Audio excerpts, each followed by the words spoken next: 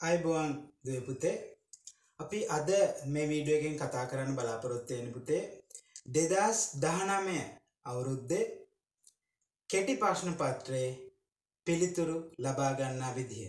සියලුම පැහැදිලි කිරීම් සමග මුල් ප්‍රශ්නය සිටම අපි කතා කිරීමක් කරනවා. එනිසා දුවල පුතාලත් දැන් ළඟින් තියාගන්න දෙදස් දහනමය අවුරුද්දේ දෙදස් දහනමය අවුරුද්දේ එකවුන්ටිං පේප එකේ පළවෙනි කොටස පළවෙනි කොටස අපිට ඉරිගහන ප්‍රශ්න තිහක් සහ හිස්තැන් පුරුවන් ප්‍රශ්න විස්සක් කෙනවා අපි ඒ පේපරේ තමයි පුත අපි අද කතා කිරීමක් කරන්න.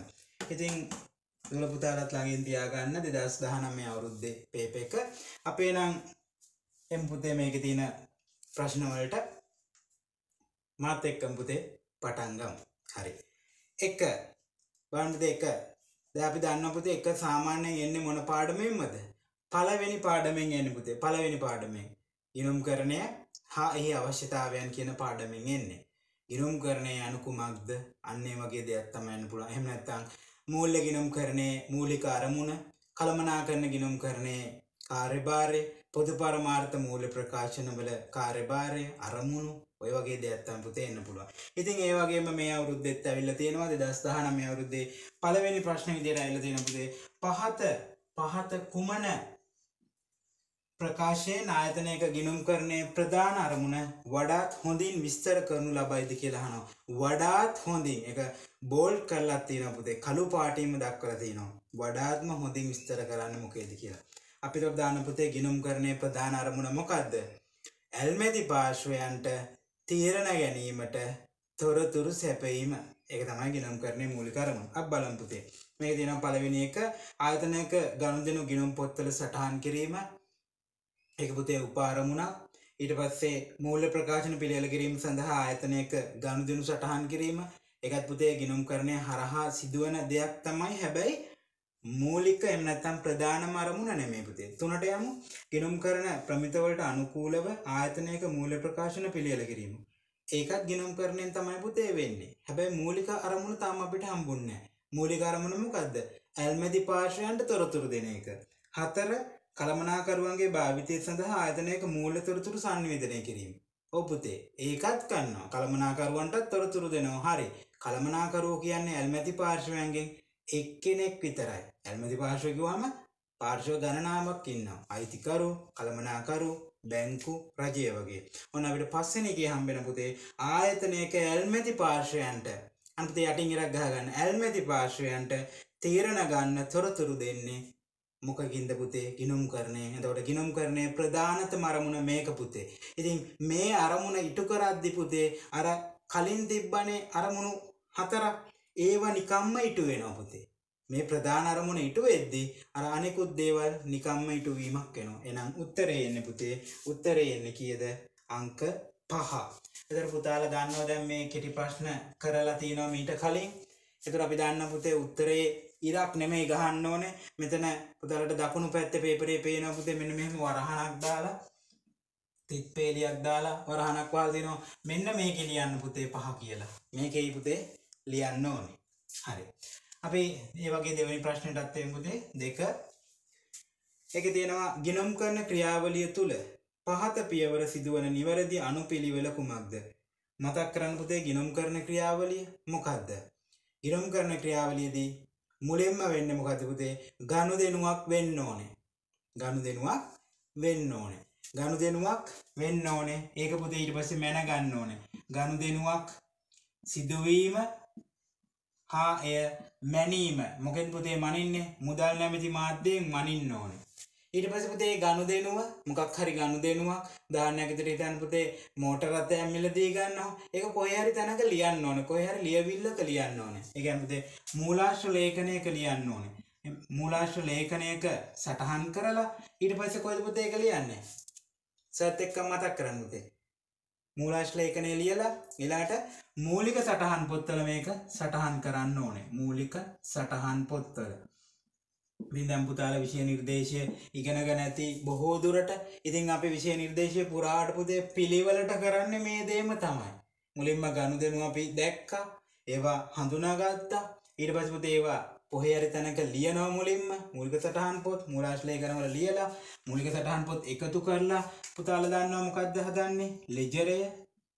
ලෙජරය හදනවා ලෙජර් ගිණුම් වලට පිටපත් කරනවා. ලෙජර් ගිණුම් අන්තිමට මොකද්ද කරන්නේ පුතේ? ලෙජර් ගිණුම් අන්තිමට එකතු කරනවා. එකතු කරලා මොකක්ද හදන්නේ පුතේ? ශේෂ පිරික්සුම හදනවා හතරවෙනියට. ශේෂ පිරික්සුම හදනවා. ශේෂ පිරික්සුම හදලා ඉවරලා අපි මොකද කරන්නේ පුතේ අන්තිමට? මේක හැමෝටම බලන්න පුළුවන් විදිහට මූල්‍ය ප්‍රකාශනවල ඇතුළත් කිරීමක් කරනවා ඒ තොරතුරු. මේ ටික තමයි ගිණුම් කරන ක්‍රියාවලියේ පියවර ටික වෙන්නේ. එහෙම නැත්නම් මේවා පුතේ මේ තියෙන ගිණුම් කරණය ඇතුලේ ඇත්තටම කරන දේවල් මේක අපි උඩින් බලලා ඔන්නම් කියන්න පුළුවන් පුතේ ගිණුම් කරන ක්‍රියාවලිය මෙන්න මේ විදිහටත් ගනුදෙනු හඳුනා ගැනීම හා මැනීම. පුතාලට පුළුවන්. ගනුදෙනු හඳුනා ගැනීම හා මැනීම මේ වගේම. ඊට පස්සේ ඒ ගනුදෙනු පුතේ මුලින්ම වාර්තා කරන්න ඕනේ. දෙවෙනියට වාර්තා කරනවා. ඊට පස්සේ පුතේ මොකද කරන්නේ? ඒවා වර්ග කරනවා. වර්ග කරනවා. එක වගේ දේවල් එක ගොඩකට දානවා. ඊට පස්සේ පුතේ ඒක පුළුවන් තරම් සාරාංශ කරනවා සාරාංශ කළා විශ්ලේෂණය කිරීමක් කරනවා. ඉතින් ඒ පියවර ටිකත් පුතාල දැනගන්න ඕනේ. හැබැයි මේකේ නම් අහලා තින්නේ ගිනුම් කරණයෙන්ම. ගිනුම් කරණයෙන්ම කියන ක්‍රියාවලියේ ගිනුම් කරණයේ වචන වලින්ම. මං කලින් කිව්ව පුතේ නිකන් විවෘත අදහසක්. ගනුදෙනු මනිනවා. ඒක ඊට පස්සේ පුතේ වාර්තා කරනවා වර්ග කරනවා. ඒක ඕන එක්කෙනෙක්ට තේරෙන පුතේ. මේ තියෙන ගිනුම් කරන භාෂාවෙන්ම මේ ක්‍රියාවලිය කියන එක. එහෙනම් පුතේ දැන් අපි බලමු නිවැරදි ක්‍රියාවලිය වෙන්නේ මොකද්ද කියලා. මේකේ තියෙනවා පුතේ ඒ ලෙජර් ගිනුම් තුලනය කිරීම. පුතේ ඒක කරන්නේ මුලින්ම නෙමෙයි. ගනුදෙනු සඳහා මූලාශ්ලේඛන පිළියෙල කිරීම. ගනුදෙනු මූලික සටහන් පොත්වල සටහන් කිරීම. ශේෂ පිරික්සුම පිළියෙල කිරීම. ජර්නල් සටහන් ලෙජරයට පිටපත් කිරීම. ජර්නල් සටහන් කියන්නේ මොනවද පුතේ? ජර්නල් සටහන් ජර්නල් කියන මූලික පොත්වලටම තමයි මූලික පොත්වලටම තමයි දැන් මූලික පොත්වල තියෙන දේවල් ලෙජරයට පිටපත් කිරීම එහෙනම් අපි පිළිවෙල බලමු පුතේ මුලින්ම තියෙන්න ඕනේ ගනුදෙනුව සිදුවීම මැනීම ඒක නෑ එන ඊළඟට තියෙනවා ගනුදෙනුව සඳහා මූලාශ්‍රලේඛන පිළියෙල කිරීම. අනුපුතේ B තමයි අංකයකට එන්නේ. B. අපි උත්තරයක් හදාගමු. මෙන්න මේකත් මතක තියාගන්න පුතේ. ළමයි සමහර විට කරන පුතේ මෙහෙම උත්තරේ බලලා ඒ කියන්නේ මෙතන තියෙන පිළිවෙල බලලා B බලලා B තියෙන එක බල බල යනවා. ආ මුලින් තියෙන මේකේ. එහෙම කරන්න එපා පුතේ. මුලින්ම අපි උත්තරය ලියාගමු. ඊට පස්සේ ඒක තියෙනවද කියලා බලන එක පහසුයි පුතේ. ඊට පස්සේ ගනුදෙනුව මූලික සටහන් පොත්වල ලියන්න ඕනේ. C දෙවෙනි එකට එන්නේ C පුතේ. ඊට පස්සේ ඒක මූලික සටහන් පොත් වලින් ලෙජරයට යන්න ඕනේ පුතේ. ඒක E වල තියෙනවා. පුතාලත් බලා ගන්න පේපර් එකත් එක්ක. ඊට පස්සේ පුතේ ලෙජර් වලින් ලෙජර් කියන ඊට පස්සේ තුලනය කරන්න ඕනේ. ඊළඟට එනවා පුතේ අපිට A. A එනවා. අන්තිමට ශේෂ පරීක්ෂණ පිළිවෙල කිරීම D එනවා. ඔන්න අපිට පිළිවෙල ආපුතේ BCE AD BCE AD උත්තරේ මොකක්ද පුතේ? දෙක. උත්තරය දෙක. හරි. උත්තරේ පුතේ දෙක. නම් පුතාලා මේක සටහනක් දාගන්න ඇති. නැත්නම් මතක තියාගන්න. අපි තුන්වෙනි එකටත් එමු. අන්න බලන්න පුතේ. හොඳට කියවන්න. පොයින්ට් එකක් දීලා පොයින්ට් එකක් සඳහන් කරලා කියනවා අංක 3 4 5 ප්‍රශ්න වලට පිළිතුරු සැපීමට පහත තොරතුරු භාවිතා කරන්නලු. එතකොට අපි අද මේ පේපර් ක්ලාස් එකේ මේ පේපරේ කතා කරද්දි පුතාලා මේ පේපරේ කලින් හදලා තියෙනව වෙන්නත් පුළුවන්. සමහරට මේ වගේ වීඩියෝ බලලා තියෙන්නත් පුළුවන් මීට කලින්. ඉතින් අපි බලන්න ඕන පුතේ අපිත් මේකේ උත්තර හොයනවට වඩා දූල පුතාලට කෙටි ක්‍රමවලින් මේකට යන මේ පැය දෙක අපි පුළුවන් තරම් පැයයි විනාඩි 40ක් ඇතුළත විතර හදාගන්න උත්සාහ කරන්න ඕන පුතේ. ඒතර මගේ වීඩියෝ එකේදී මං පැය විනාඩි 40කින් හදන්න උත්සාහ කරන්නේ නැහැ. මොකද පැහැදිලි කිරීමත් සමග මං හදන නිසා. නමුත් පුතාලට කෙටි ක්‍රම මොනවා හරි තියෙනවා නම් මං ඒ සියලු දේවල් පුතාලට කියලා දෙනවා. කෙටි ක්‍රම කෙටි ක්‍රම කියන්නේ පුතේ කොහෙන් හරි උත්තරේ ගන්න විදියක් නෙමෙයි. අපිට දැන් මේ වගේ ප්‍රශ්නයක් ගත්තොත් අපි 3 4 5 සඳහානේ පුතේ පිළිතුරු සපයන්න කියන්නේ. එතකොට අපි 3 4 5 ප්‍රශ්න ටික මුලින්ම බලලෙමු. එතුට අපිට කියවන් යද්දී උත්තර මැවෙනවා පුතේ අන්න එමයි වෙලාව ඉතුරු කරගන්න. එහෙම අපිට වෙලා ඉතුරු කර ගැනීමක් කරන්න පුළුවන් ගොඩක් ප්‍රශ්නවලදී. මොකද අපි දන්න පුතේ කවුන්ටින් පේපර් එකේදී මම බාහිර කාරණා කිහිපයකුත් පේපරේ සමගම කියන්න යන්න ඒක පුතාලට වැදගත් වෙයි. එකවුන්ටින් පේපර් එකේ ගොඩක් වෙලාට පුතේ එක තොරතුරක් දීලා ප්‍රශ්න තුනක් හතරක් අහන අවස්ථා තියෙනවා. මේකේ තව අපිට හම්බ වෙයි අවස්ථා දෙකක දීතර. එතකොට පුතේ අපි ඒක එකින් එක හදනට වැඩිය ලේසි ඔක්කොම එක පාර හදන් යනවන ඔන්න බලන්න පුතේ මේකට පුරුදු වෙන්න. වෙලාව ඉතුරු වෙන පුතාලගේ අනිවාර්යයෙන්ම අපි හදමු පුතේ. 3 4 5 ප්‍රශ්න වලට පිළිතුරු සැපීමට පහද තොරතුරු භාවිතා කරන්නලු. ඔන්න පුතේ අපිට කියනවා 2019 එක එක දින මුදලින් රුපියල් 7,50,000ක ආයෝජනය කරමින් සඳුන් විසින් වෙළඳ ව්‍යාපාරයක් ආරම්භ කරන ලදී. ඊට පස්සේ 2019 ජනවාරි මාසයේ පහත ගනුදෙනු සිදුවේ. අලුතෙන් පුතේ පටන් අරන් තින්නේ ප්‍රාග්ධනයක් යොදමින්. ඉරක් ගහ ගන්න පුතේකට 7,50,000ට ඉරක් ගහ ගන්න මේව මග ඇරෙනවා පුතේ. ඉරක් ගහ ගන්න. ඊට පස්සේ දීලා තියෙනවා පුතේ දිනයන් කියලා ගනුදෙනු හතරක් විස්තරය පැත්තිනවා. පළවෙනිදා වෙලා තියෙන පුතේ ජයමාල් වෙළඳුන්ගෙන් ලක්ෂ 5ක භාණ්ඩ ණයට අරන් තිනවා. දෙවැනියට ජයමාල් වෙළඳුන්ගෙන් මිලදී ගත්ත 50000ක භාණ්ඩ ආපසු හරවලයවල තිනවා. තුන්වෙනියට පුතේ රුපියල් 4 ලක්ෂයක් පිරිවැය වූ භාණ්ඩ ලක්ෂ 6කට සිරිමාල්ට අත්පිට මුදලට විකිනීමක් වෙලා තියෙනවා. ඊට පස්සේ කියලා තියෙනවා රුපියල් 5000ක වට්ටමකටත් අය ජයමාල් එක්ක අපි ගනුදෙනු කරා. එයාට ගෙවන්න තිබ්බ එක ගෙවවලු. ගනුදෙනු ටික නම් සරලයි පුතාලට පේනවා ඇති. මේ කියනවා පළවෙනියට ජයමාල් වෙළඳුන් සමග. ගැටින් ඉරක් ගහ ගන්න පුතේ. ජයමාල් වෙළඳුන් සමග ඉහත ගනුදෙනු සිදු කළ ඉහත ගනුදෙනු ඒවා සිදු අනුපිළිවෙල අනුව සඳුන්ගේ ව්‍යාපාරයේ පොත්වල සටහන් කිරීමට භාවිතා කළ මූලාශ්ලේඛන නම් ගොඩක් තියෙන පුතේ. මුලින්ම බලාගන්න පුතේ අයිතිකරු කවුද? අයිතිකරුගේ නම මොකද්ද? සඳුන්. එහෙනම් අපි හැම වෙලේම ව්‍යාපාරයේ පැත්තෙන් හිතන එක ලේසි නිසා මේකේ ව්‍යාපාරයේ පැත්තෙන්මයි යහන්නේ. එතකොට මේක අහනවා පුතේ මේ සඳුන්ගේ පොත්වල සඳුන්ගේ පොත්වල මේ මූලාශ්‍ර ලේඛන මොනවද කියලා අහනවා අවශ්‍ය වෙන්නේ ජයමාල් එක්ක ගනුදෙනු උන ටිකට. ජයමාල් එක්ක සිදුවෙච්ච ගනුදෙනු වලට අදාළ මූලාශ්‍ර ලේඛන විතරයි අහන්නේ. ඊට පස්සේ පුතේ හතරවෙනි කී අහනවා අංක හතරේ සඳුන්ගේ ව්‍යාපාරයේ 2019 1.12 සිට 2019 1.24 දක්වා සිදු ගනුදෙනු සටහන් කිරීමට භාවිතා කළ මූලික සටහන් පොත් අහනවා. මේක අහන්න පුතේ කාගේ හරි එක්ක වෙච්ච ඒවද? නෑ පුතේ. විවෘතව අහන්නේ. දින දෙකක් දීලා ඒ දින දෙක අතරතුර. ඊට පස්සේ පස්වෙනි එක අහනවා 2019 ජනවාරි මාසයේ සඳහා මේ සඳුන්ගේ ව්‍යාපාරයේ ලාභයයි මුදල් ශේෂයයි අහනවා. මේ ප්‍රශ්න තුන තමයි පුතේ අපෙන් අහලා තියෙන්නේ. එහෙනම් අපි උත්තර ටික අරගෙන යමු. තුන්වෙනි ප්‍රශ්නේ අහන්නේ ජයමාල් වෙළඳුන් එක්ක වෙච්ච ගනුදෙනු. තුන්වෙනි එක ජයමාල් එක්ක වෙච්ච ගනුදෙනු ටික අහන්නේ. හතරවෙනි එකේ අහනවා දිනයන් දෙකක් දීලා ඒ අතරතුර සිදුවුණු ගනුදෙනු ලියන මූලික සටහන් පොත්. තුන්වෙනියට අහනවා පුතේ මොකද්ද? ලාභය සහ මුදල් ශේෂී. ඔය ටික තමයි පුතේ අහන්නේ. හරි. අපි මේ ගාන එකවර හදන් යන්නත් පුළුවන් පුතේ එහෙම නැත්තම් අපිට ප්‍රශ්නයෙන් ප්‍රශ්නය අරගෙන යන්නත් පුළුවන් ඔන්න පුතේ අපි මුලින්ම අපිට පුරුදු විදියට ප්‍රශ්නයෙන් ප්‍රශ්නයට අරගෙන හදලා බලමු ඊට පස්සේ මං කියන්නම් පුතාලට මේකේ හොඳ දැනුම ලබා ගත්තට පස්සේ පුළුවන් තරම් පුරුදු වෙන පුතේ එකපාර ප්‍රශ්න කිහිපයකට උත්තර ටික ගන්න වෙලා විතුරු කරගන්න පුළුවන් හරි අපි යමු පුතේ දැන් මේකේ තියෙනවා පළවෙනියට ජයමාල් වෙළඳුන් සමග ඉහත ගනුදෙනු ඒවා සිදු අනුපෙළවල අනුව සඳුන්ගේ පොත්තල ලියන එක. ජයමාල්ගේ ගනුදෙනු ටික පුතේ හොයාගන්න ඉක්මනට ජයමාල් එක්ක උණු ගනුදෙනු අන්න පළවෙනි ගනුදෙනු උනේ ජයමාල් එක්ක. මොකක්ද උනේ පුතේ? බාණ්ඩ ණයට මිලදී ගැනීමක් කරලා තිනවා ජයමාල් වෙළඳුන්ගේ. කීයක බාණ්ඩද ලක්ෂ 5ක.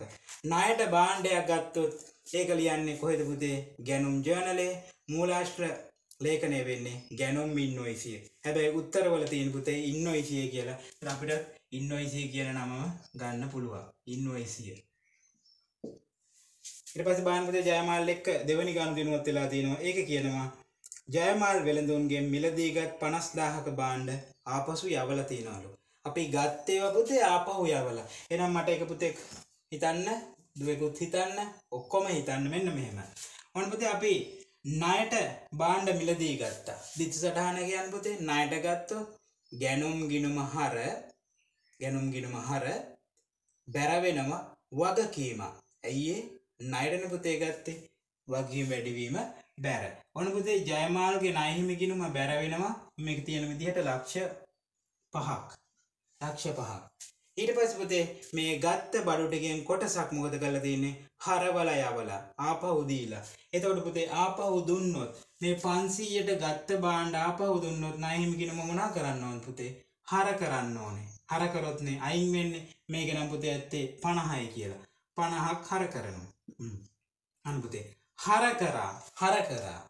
එහෙනම් මේ ආපසු යවුම් වලට ආපසු යවුම් වලට මේ ආපසු යැවීමක් නේ ඊට අදාළ වෙන මූලාශ්‍ර ලේඛනය වෙන්නේ හර පත. ඒක කොලයක් නිසා පත කියලා දැම්මා. හරපත. මොකද බැරපත කියලා එකකුත් තියෙනවා නිසා දෙක පැටලෙන හින්දා මෙන්න මේ විදිහට මතක තියාගන්න පුතේ ණය හිමියෝ හර කරන නිසා අපි හරපත තමයි යොදාගන්නේ අන්න දෙවෙනි එකට එන්නේ පුතේ හරපත තුන බලන්න ජයමාල් එක්ක වෙච්ච ගනුදෙනුව පුතේ අන්තිම එක නේද 1.24 බලමු 1.24 රුපියල් 5000ක වට්ටමකට යටත් ජයමාල්ට මුදල් ගෙවලා පුතාලා දන්නවා මුදල් ගෙවුවොත් ගෙවීම් ජර්නලේ ලියන්නේ ගෙවීම් වවුචරේ තමයි මූලාශ්‍ර ලේඛනය වෙන්නේ. එහෙනම් ඒකට එන්නේ ගෙවීම් වවුචරය. බලන්න පුතේ එහෙම උත්තරයක් තියෙනවද කියලා? ගෙවීම් වවුචරය. ගෙවීම් වවුචරය. උත්තරයක් තියෙනව නේද පුතේ? ඉන්වොයිසිය හරපත ගෙවීම් වවුචරය. හරපත බැරපත තියෙන ගානක් තියෙනවා. බැරපත එන්නේ කොහොමද පුතේ? ණයට භාණ්ඩයක් වික්කට පස්සේ ඒ ණයගැතියෝ භාණ්ඩය ආපහු හරවල එවුවොත් එතකොට ණයගැතියෝ බැර වෙනවා. ඒ පුතේ ආපසු එවුම් වලදී මේ ආපහු යවද්දි හර කරනෝ ණය හිමිය. එහෙනම් අපිට උත්තරේ ගන්න පුළුවන් පුතේ 1 කියලා. තුනට උත්තරේ 1. 4 4 හතරේ අහලා තිබ්බ පුතේ. 2019යි 1යි 12 සිට. අනුපුතේ බලන්න. දෙදස් දහනමය එකයි දොළහ ඉඳම් එකයි දොළහ ඉඳම් දෙදස් දහනමයි එකයි විසි හතර වෙනකම් මෙන්න මේ කාලය අතරතුර වෙච්ච ගණු දෙනු සටහන් කිරීමට භාවිතා කරපු මූලික සටහන් පොත් අනුපිළිවෙලින් ලියන්නලු. මූලික සටහන් පොත්.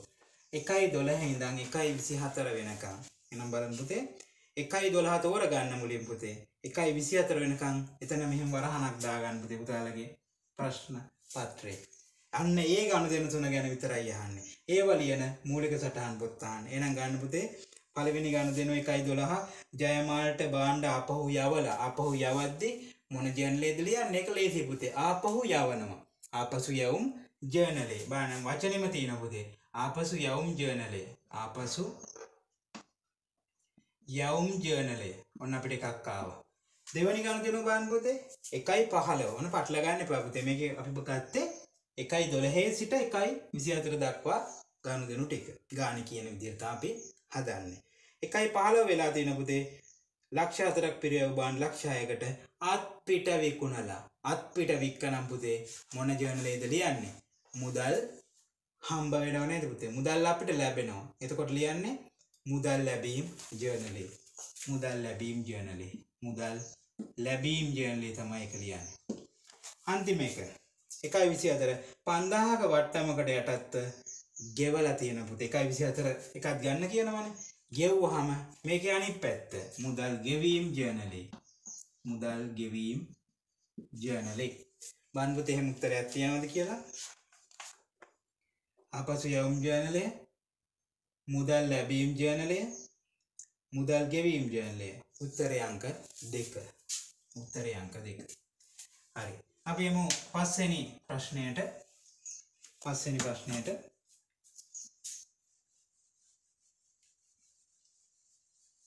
පහ. ප්‍රශ්නංක පහ. ඒකත් මේ ගානෙම්ම යහනි පුතේ. ප්‍රශ්නක පහේ කියනවා සඳුන්ගේ ව්‍යාපාරයේ දෙදස් දහනමේ ජනවාරි මාසය සඳහා ලාභය සහ එකයි තිස්සක දිනට මුදල් ශේෂය හනු මුදල් ශේෂයයි ලාභයයි හන්පුතේ අපි ඒ දෙක හදාගමු ලාභයයි මුදල් ශේෂයයි. මං පුතාලට කිව්ව මතකද දැන් මේකේ ඔන්න බාන් පුතේ අපිව හිරවෙන තැන. ගැනේ මගෑරන තැනක් පුතේ ඇත්තට මේක අමාරු ගානක් නෙමෙයි. මග ඇරෙන්නේ කොහෙද? දැන් පුතේ අපි අර ගනුදෙනු එන්න පුතේ ගානට ආපහු පෙළ ගන්න ගානට එතන ඔය දිනයන් හතරක් එක්ක ගනුදෙනු හතරක් තියෙනවා පුතේ. අපි ඒ ගනුදෙනු හතරේ දැන් රැඳිලා හිටියා.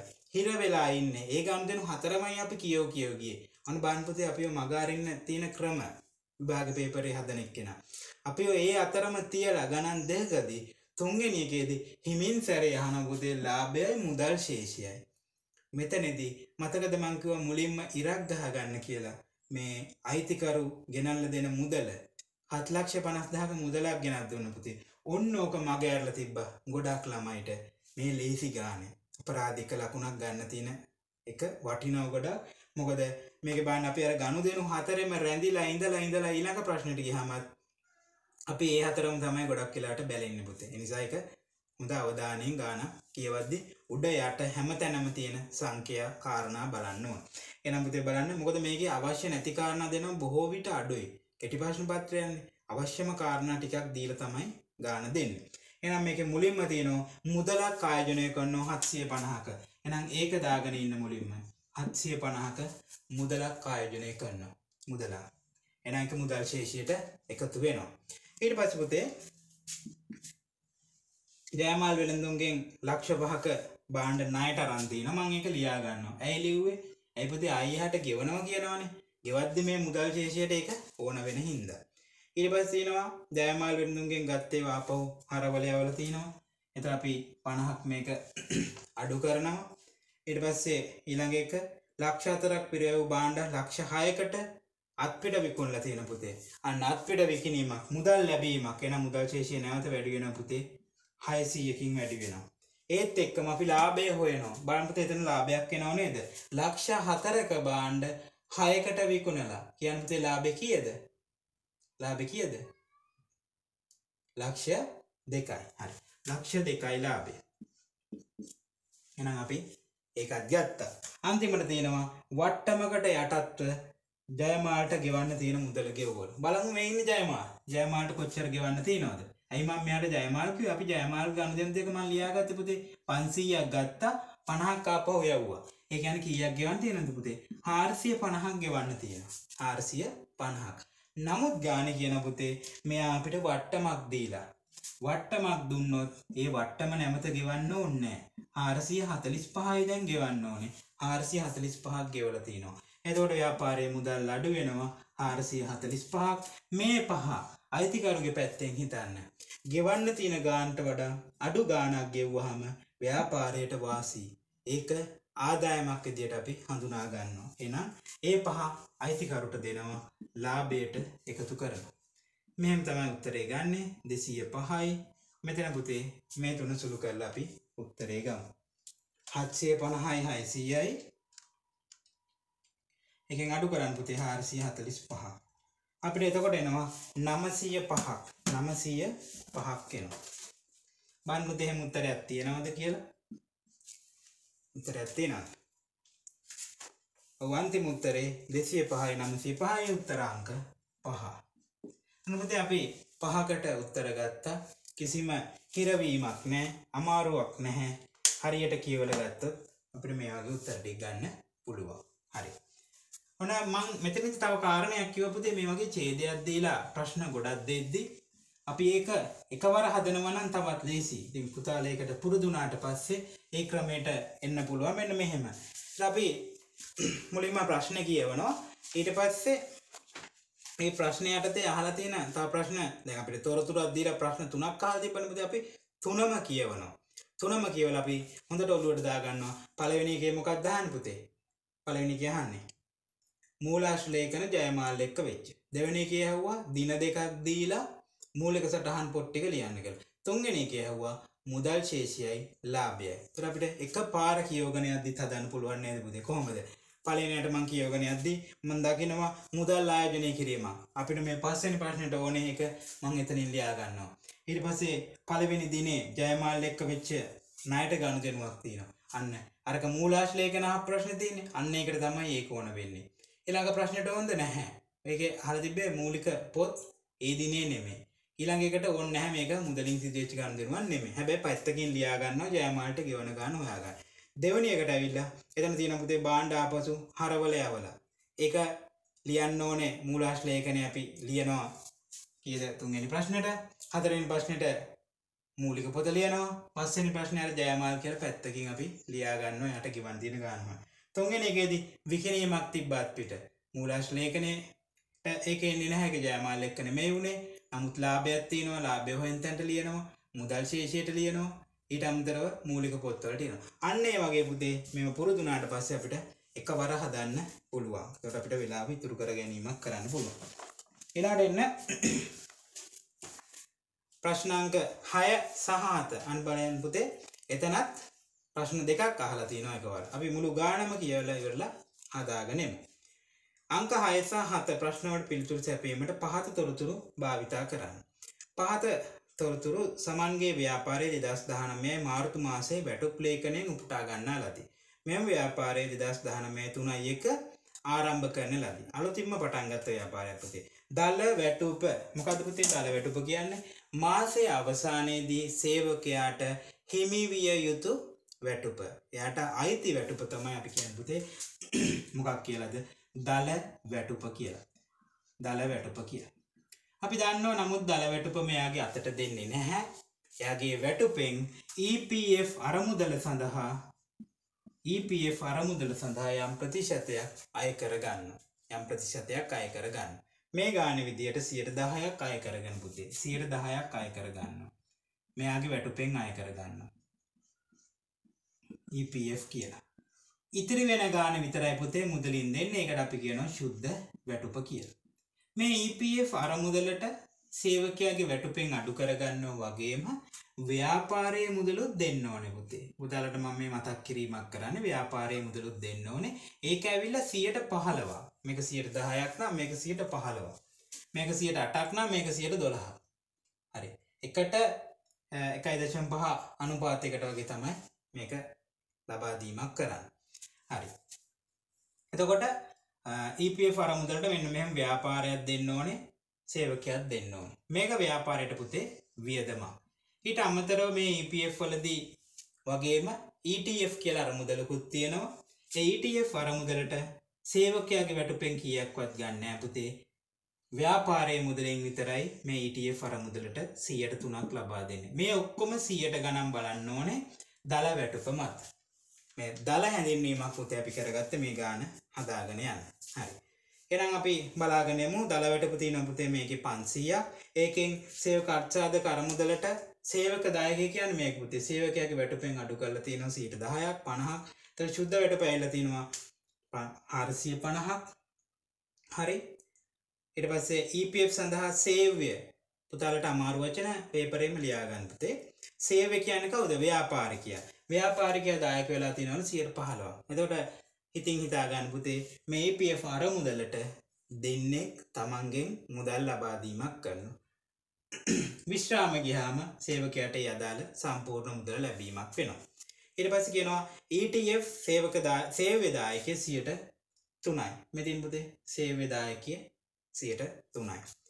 ඊට පස්සේ කියනවා මෙන්න මේක වැදගත් කාරණයක්. කිසියම් මාසයක EPF මාර්තු මාසයේ EPF සහ ETF ඊළඟ මාසයේ 10 වෙනිදා තමයිලු ප්‍රේෂණය කරන්න. කොහෙටද පුතේ ප්‍රේෂණය කරන්නේ? මේ මහා බැංකුව යටතේ තියෙන EPF සහ ETF අරමුදලට තමයි මේවා ප්‍රේෂණය කිරීමක් කරන්නේ. මේ ආයතනය නෙමෙයි මේ පිට තැනක තියෙන්නේ. හිතන්නකෝ පුතේ මේක තියෙන්නේ මහා බැංකුවේ. මහා බැංකුවේ තියෙන. මෙහෙට ගිහින් දෙන්න ඕනේ. මේගොල්ලන් දෙන්නේ පුතේ මාර්තු නෙමෙයිලු. මාර්තු නෙමෙයිලු දෙන්නේ අප්‍රේල් කවද්ද පුතේ? අප්‍රේල් කවද්ද? කියන්න පුතාලා. අප්‍රේල් 10. කොහෙද ඒක හොයාගත්තේ? ඇයි කියන්න පුතේ? ඊළඟ මාසෙ දෙන්න කියලා. ඒකෙන් තමයි හොයාගත්තේ. ඊට පස්සේ කියන පුතේ මෙතන මෙන්න මෙහෙම එකක්. 6 ප්‍රශ්න වලට සමන්ගේ ව්‍යාපාරයේ 2019 331 දිනට ඉහත ගනුදෙනු වල බලපෑම පහත කුමන ගිණුම් කරන සමීකරණයෙන් පෙන්වනු ලබයිද කියලා අහනවා. අපි ගිණුම් කරන සමීකරණයක මේ කියපු කතාව දාගන්න වෙනවා පුතේ. අපි බලමු ඒක කොහොමද දාන්නේ කියලා. ඉතින් මේකෙන් පොඩ්ඩක් මතක් කරගන්න EPF වලදී පුතේ මෙන්න මේක ව්‍යාපාරයට වියදම. මොකද ව්‍යාපාරයේ සල්ලි දෙන්න ඕනේ 115ක්. මේ 103ත් ව්‍යාපාරයට වියදමක්. 110 ව්‍යාපාරයට වියදමක් නෙමෙයි. ඇයි ව්‍යාපාරයට වියදමක් නෙමෙයි වෙන්නේ? ඒක සේවකයාගේ වැටුපෙන් ගන්න. සේවකයාට වැටුපෙන් ගන්න. ව්‍යාපාරයේ වැටුප් වියදම් වෙන්නේ පුතේ මෙන්න මේ දල වැටුප. දල වැටුප. ඒක කොහොම හරි ව්‍යාපාරයේ දෙනවනේ පුතේ ව්‍යාපාරයේ සල්ලි වලින් දෙනවා. කොහොමද දෙන්නේ? සේවකයාගේ අතට කොටසකුයි EPF අරමුදලට කොටසකුයි. ඒ නිසා ව්‍යාපාරයේ වියදම් වෙන්නේ දල වැටුප හරි එනම් මේක ගෙනුම් කරන සමීකරණය මේ කතාව අපි දාගන්න ඕනේ ඊළඟට අහනවා දෙදස් දහනමේ තුනයි තිස්සක දිනෙන් අවසන් මාසය සඳහා EPF වියදම සහ EPF වගකීම සටහන් කිරීමට අදාළ නිබරදි දිස්ති සටහනත් අහනවා හරි අපි එනම් හදාගෙන යම් පුතේ මේකේ හයවෙනි ප්‍රශ්නය. ලියාගන්න පුතේ ගිනුම් කරන සමීකරණයක් මෙහෙම. වත්කම් සමානයි. වගකීම් දන දැන් පුතාලා දන්නවා. හිමිකම් වත්කම් සමානයි. වක්කීම් දන හිමිකම් ඉරුම් කරන සමීකරණය. අන්නේ සමීකරණයට මේ කියන්න වූ කතාව දාලා පෙන්නන්නලු. මේ කතාව දාලා පෙන්නන්න කියලා කියන්න. පොදාලත් ඒ සමීකරණය ලියාගන්න. මම එක අපහු වඳින්නම් මෙතනින් මේ තමයි EPF අරමුදල.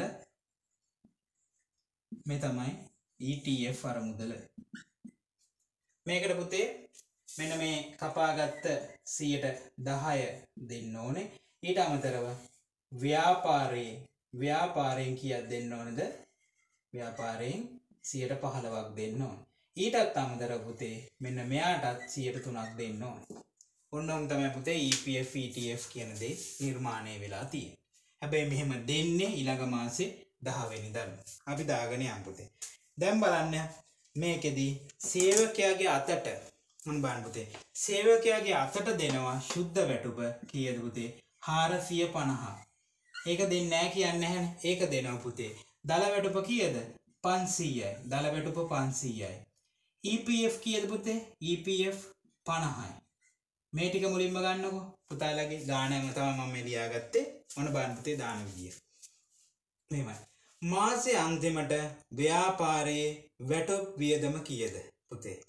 වැටොප් වියදම් පුතේ 500යි ඒක වෙනස් වෙන්නේ ඒකෙන් මොන අඩු කිරීම කරත් මේක තමයි සේවකයාට ලැබිය යුතු වැටුප. එහෙම හිතන්න. එයාට හම්බ වෙන්න තිබ්බ වැටුප තමයි 500 එන අපි දන්නවා වැටොප් කියන්නේ මොකක්ද වියදමක්. ව්‍යාපාරයට වෙන වියදමක්. වියදම දරන්න ඕනේ කවුද පුතේ? අයිතිකරු. එනිසා අයිතිකරුගේ හිමිකමෙන් අඩු වෙනවා කීයක්ද 500ක් එකින් එක ගන්න පුතේ. මේ ගනුදෙනු ගොඩක් තියෙනවා. එකින් එක අපි අයින් කරගමු. මේක ගත්තා. හරි. හරි. ඊට පස්සේ මං කිව්වා සේවකයාගේ වැටුප දැන් හැදිලා තියෙනවා 500ක් එයා වැටුප ඇහුවට පස්සේ කෝල් එකක් දීලා අද මේ මාසේ මට වැටුප් කීයක් තියෙනවද? ඔයාට තියෙනවා 500ක් කියලා කියයි. සේවකයාට කියනවා. ඉතින් එයා මාසේ අන්තිම වෙනකන් ඉඳලා දැන් ගිහින් වැටුප ඉල්ලන්න යනවා. එතකොට එයාට දෙන්නේ 450ක් විතරයි. එයා අහනවා ඇයි එහෙම කරන්නේ? කලින් කිව්වා 500යි කියලා. දැන් 450ක් දෙනවා. එතකොට කියනවා ඒක අපි තීරණය කරපු දෙයක් නෙමෙයි. රජය ඔගලන් පත් කරපු රජය අපිට කිව්වා 110ක් ඔයාගේ වැටුපෙන් අඩු කරන්න කියලා. එයා අහනවා ඇයි කියලා. එහෙම කරන්නේ කොහොමද? ඔයා කවදා හරි විශ්‍රාමයක්දී විශ්‍රාමයක්දී ඒ 110 ගිහින් ඉල්ලගන්න EPF අරමුදලෙන් අපි යාට යවනවා. ඔයාගේ අතට නම් දෙන්නේ නැහැ කියලා. එයා කල්පනා කරලා බලනවා ඒකත් හොඳ වැඩක් තමයි. පෙන්ෂන් උත් නැති නිසා රජයේ සේවකයෙකුත් නෙමෙයි නිසා අන්න අපිට ඒක ගන්න පුළුවන් කියලා එයා හිතනවා. එතකොට එයාගේ අතට හම්බෙන් කියද පුතේ 450යි. ඒක දාගන්න. එහෙනම් ව්‍යාපාරයේ මුදල් අඩු වෙනවා කියකද පුතේ 450කින්. මුදල් අඩු වෙන පුතේ 450ගෙන්. ඊට පස්සේ 450කින් මුදල් අඩු වුණාට පස්සේ ඒකත් හරි. හැබැයි සමීකරණේ නම් බැලන්ස් නෑ නේ පුතේ. සමාන වෙන්නේ නෑ. තව තියෙනවා. ඊට පස්සේ පුතේ දැන් මේ අපි අඩු කරගත්තනේ 50ක් දෙන්නේ නැතුව. ඒ 50 දෙන්නේ නැහැ මේ වෙලාවේ. EPF අරමුදලට යවුවෙත් නෑ. යවුවා නම් අපිට ගෙලින්ම මෙතනින් 500ක්ම අඩු කරලා ඉවර කරන්න තිබ්බා. නමුත් ඒක දෙන්නේ නැතුව තියාගන්නවා ඊළඟ මාසෙලු දෙන්නේ. හැබැයි මේ සමීකරණය අහන්න පුතේ 3.31ට. එතකොට මේ ඉතුරු වෙන EPF ගාන දෙනවා කියන්නේ කවද පුතේ? ඊළඟ මාසේ 10 කියන්නේ 4යි 10 දෙන්නේ. අන්න දෙන්න තියෙන දෙයක්. උදලට මතක් වෙන්න ඕන එක වගකීමක්. අන්න පුතේ වගකීම් වැඩි වෙනවා කීයකින්ද? 50කින්. 50කින් වගකීම් වැඩි වෙනවා. එතකොට පුතේ මුල් ටික හරි. උදලත් හරි ටිකක් දාගන්න. මුල් ටික අපේ හරි දැන්. හැබැයි යට දෙන්න ඉන්නවා. ඇයි පුතේ 115කුත් දෙන්න ඕනේනේ. දැන් මේ 110 අපි දුන්න එක තමයි මේ සටහන් කරලා තියෙන වැටුපත් එක්ක. ඒක හරි. දැන් මෙන්න ව්‍යාපාරයට සිද්ධ වෙනවා. තව 115ක් දෙන්න. මෙන්න මේ 500 මත 115. කීයද වටිනාකම් පුතේ? මේ ගාන දීලම් දින හොයන්න ඕනේ 75යි. අර ඊළඟ රූලේ තියෙන 75යි. ඒක ව්‍යාපාරය දෙන්න ඕනේ. මේක ව්‍යාපාරයට පුතේ වියදමක්. සේවකයා වෙනුවෙන් ව්‍යාපාරය දරන වියදමක්. ඒ නිසා හිමිකම අඩු වෙනව නැවත කීයද පුතේ 75කින්. දුන්නද ඒක? නෑ. ඒක දෙන්නෙත් පුතේ හතරයි දහය. මෙහෙ මොහොත ගෙවන්නෙම නෑ. මේ මාස ගෙවන්නෙම නෑ. ඒ නිසා එතකොට මොකද වෙන්න පුතේ? මුදල් අඩු වෙනවද? නෑ. වගකීම් වැඩි වෙනවා. දෙන්න තියෙන දෙයක් නිසා. ඔන්න පුතේ අපි මේ ව්‍යාපාරයේ මේ EPF කතන්දරේ අවසන් කරා දැන් ඉතුරු වෙනවා ETF එක 103 ඒක කියද පුතේ වටිනාකම? පහළවා. ඒකත් දෙන්න ඕන. ඒකත් දෙන්න ඕන. ව්‍යාපාරයට පුතේ ඒකත් වියදමක් මේ සේවකය වෙන්නේ කියද පුතේ? පහළවා. නම් හිමිකම් අඩුවෙන පහළවක් ඒක දීලත් නෑනි පුතේ. සල්ලිවලින් දීල නෑන. නිසා වක්කීම් වැඩියනවා පහළවකි. මෙන්න මේ විදියට තමයි මේ විදියට තම පුතේ ඒකට අදාළුත්තරේ ගන්න. එනම් අපි ගමු. එකතු කරලා. වත්කම් රින හාරසිය පණහයි වගකීම් එකතුව ගන්න පුතේ ධන පණහයි ධන හැත්ත පහයි ධන පහළවයි. එකසිය හතලයක් යනවා ධන. රැස්පතේ මෙතන රින උත්තරයක් එන්නේ පයි පායිදෑම් බින්දම එකක් ඉතුර හත එකට එකයි නමයයි පහයි පන්සිය අනුවක් කියෙන රින පන්සියන් බන්පුතේ එහෙම උත්තරයක් තියෙනවද කියලා? රින හාරසිය පණහයි ධන එකසිය හතලිහයි රින පන්සි අනුව බන්පුත උත්තරේ දෙක. උත්තරය දෙක. උත්තරේ දෙක. පුතලත් එක සටහන් කරගන්න අවශ්‍යතැන් අපි ඊළඟ ප්‍රශ්නටත් එමු. හත. හත. හත මම මෙහෙම ගන්න හතේ කියන පුතේ අවසන් මාසය සඳහා EPF වියදම EPF වියදම. EPF වියදම කියද පුතේ EPF වියදම මට ඒ ටික පුතාලා කියන්න EPF වියදම. පුතාලා සිතින් හිතන්න EPF වියදම කියද? කියද? හැත්ත පහයි පුතේ මේ ව්‍යාපාරය දෙන එක. හැත්ත පහයි මෙන්න මේ EPF වියදමයි දෙදස් දානමය තුනයි තිස්ස එක දිනට EPF වගකීම සටහන් කිරීම සඳහා නිවැරදි දිත්ත සටහන්හනු EPF වගකීම. EPF වගකීම. EPF වගකීම කියදපුතේ අපි මේ EPF අරමුදලට දෙන්න තිබ්බේ. මේ තියෙන්නේ කියදපුතේ පණහායි හැත්ත පහයි නේදපුතේ පනා කියන්නේ සේවකයක වැටපෙන් EPF එකට දෙන්න තිබ්බටික ව්‍යාපාරය විසින් දෙන්න තිබ්බපුතේ හැත්ත පහ ඒ යන කියද? පහයි හතයි පහයි දොළහයි එකසිය විසි පහ. මෙන්න මේකට අදාළ දිත්තු සටහන හන්න ඔන්න පුතේ දිත් සටහන් ටිකත් ඔය ගමම්ම අපිට ඉගෙන ගන්න පුළුවන්. බලාගන්න. මේ මයි දාන්නේ. ගිනුම් වලින්ම මං ගන්න. ගිනුම් වලින්ම අමුද මේ ව්‍යාපාරය වැටුප් ගෙවනු වැටුප් ගෙවනු කියත් පුතේ වැටුප් ගෙවන්න දැන්? හාරසිය පණහයි හාරසිය පණයි දිස්සටහන මුදල් ගිනුම බැර මුදල් අඩු වෙනවා මුදල් බැර. වැටුප් පියදම් ගිනුම හර හාරසිය පණහයි හාරසිය පණහයි හරින පුතේ? එක හරි. ඊට පස්සේ වැටුක් ගිනම තියෙන තාම හාරසි පණහක් විතර කිය තියෙන් ඕනද? පන්සියක් තියෙන් ඕන. මේ EPF වියදම තියෙන් ඕන පුතේ. EPF වියදම තියෙන් ඕන. එනම් EPF සටහන් කරමු පණහා. වැටුප් ගෙනම හර පණහයි. වැටුප් ගෙනුම හර පණහයි. බැර කරනවා මොනගෙනමුටද පුතේ? මේක ගෙව්වේ නැහැ. ගෙවිය යුතු වැටුප් ගෙනුමට. ගෙවිය යුතු වැටුප් ගෙනුමට පණහක් බැර කරනවා. මෙන්න EPF වලට අදාළ එක දිත් සටහනක් අපි හොයාගත්තා. ඉට පස්සේ තව එකක් තියෙනවා. ඇයි ව්‍යාපාරයදායක පුතේ? ව්‍යාපාරයදායක කියද? සියට පහලෝ පුතාලත් කියන්න මට. සියට පහලෝ කියද? හැත්ත පහයි හැත්ත පහකයකුතේ ව්‍යාපාරයට වියදමක්. EPF වියදම්. වියදම් වැඩිවීම මගිපුතේ කියද? වියදම් වැඩිවීම හැත්ත පා එහම නැත්තා වියදම් වැඩිවීම හර. ඇයි දිස්සටහන් රීතිය කියන වියදම් වැඩිවීම හර. එනම් EPF වියදම් ගෙනම හර.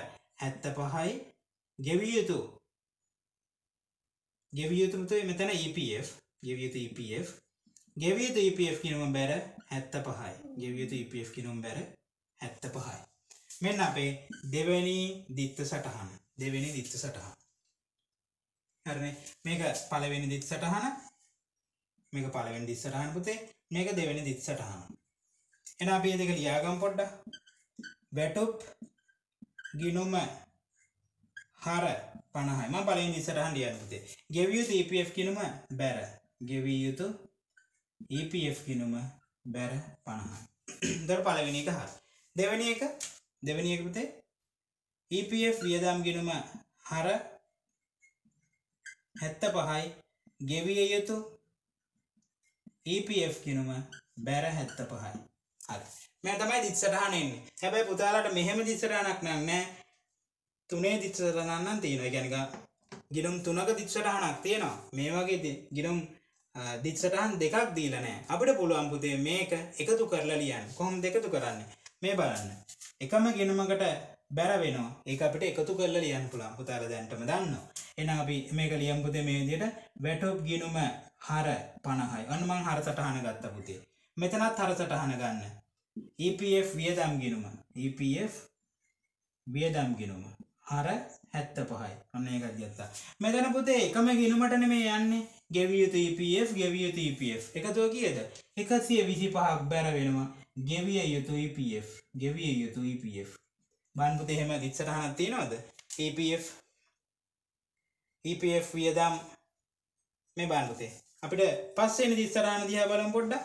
ඒක තියෙන පුතේ EPF වියදම් හර 75යි EPF වියදම් හර 75යි වැටොප් හර 50යි වැටොප් හර 50යි ගෙවිය යුතු EPF බැර 125යි උත්තරේ අංක කීයද පුතේ පහ හත්වෙනි එකට පහ එන්නේ. පුතාලත් ඒ වගේ හරියටම ඉගෙන ගන්න පුතේ. හරියටම ඉගෙන ගන්න. උත්තරේ අංක පහ. හතට එන්නේ පහ පුතේ. හරි. එහෙනම් මේ උත්තර ටික පුතාලා සටහන් කරගෙන ඇති. උත්තර ටික එන විදිහ සහ තේරුම් අරගෙන අපි සටහන් කරගත්තේ. අපි දැන් ප්‍රශ්න හතක් කතා කරා පුතේ. ඊළාට යන් අටවෙනි ප්‍රශ්නෙට එහා පිටුවේ අටවෙනි ප්‍රශ්නයට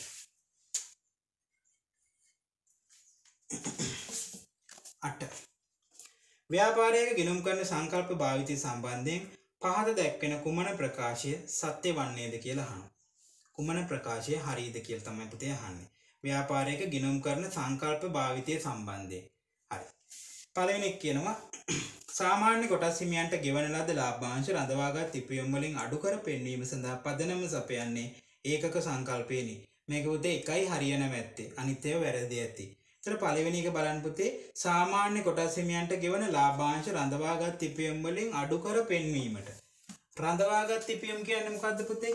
රඳවාගත් ඉපයුම් කියන්නේ මං ගන්නවා රඳවාගත් ඉපයුම් එක ව්‍යාපාරයක තියෙනවා 1000ක්. මොනවද මේ රඳවාගත් ඉපයුම් කියන්නේ? ව්‍යාපාරය පටන් ගත්ත දවසේ ඉඳන් 2000 අවුරුද්දේ නම් පටන් ගත්තේ මෙහෙම මෙහෙම ව්‍යාපාරය කරගෙන යනවා 2019 දක්වා. අවුරුදු 19ක් පුරාවට කරගෙන ගිහින් ලාභ උපයනවා, පාඩු උපයනවා, ආයි ලාභ එනවා, ආයි පාඩු උපයනවා. මෙන්න මේ වගේ එකතුවට තමයි පුතේ රඳවාගත් ඉපයුම් කියලා කියන්නේ. රඳවගෙන ඉන්න ඉපයුම.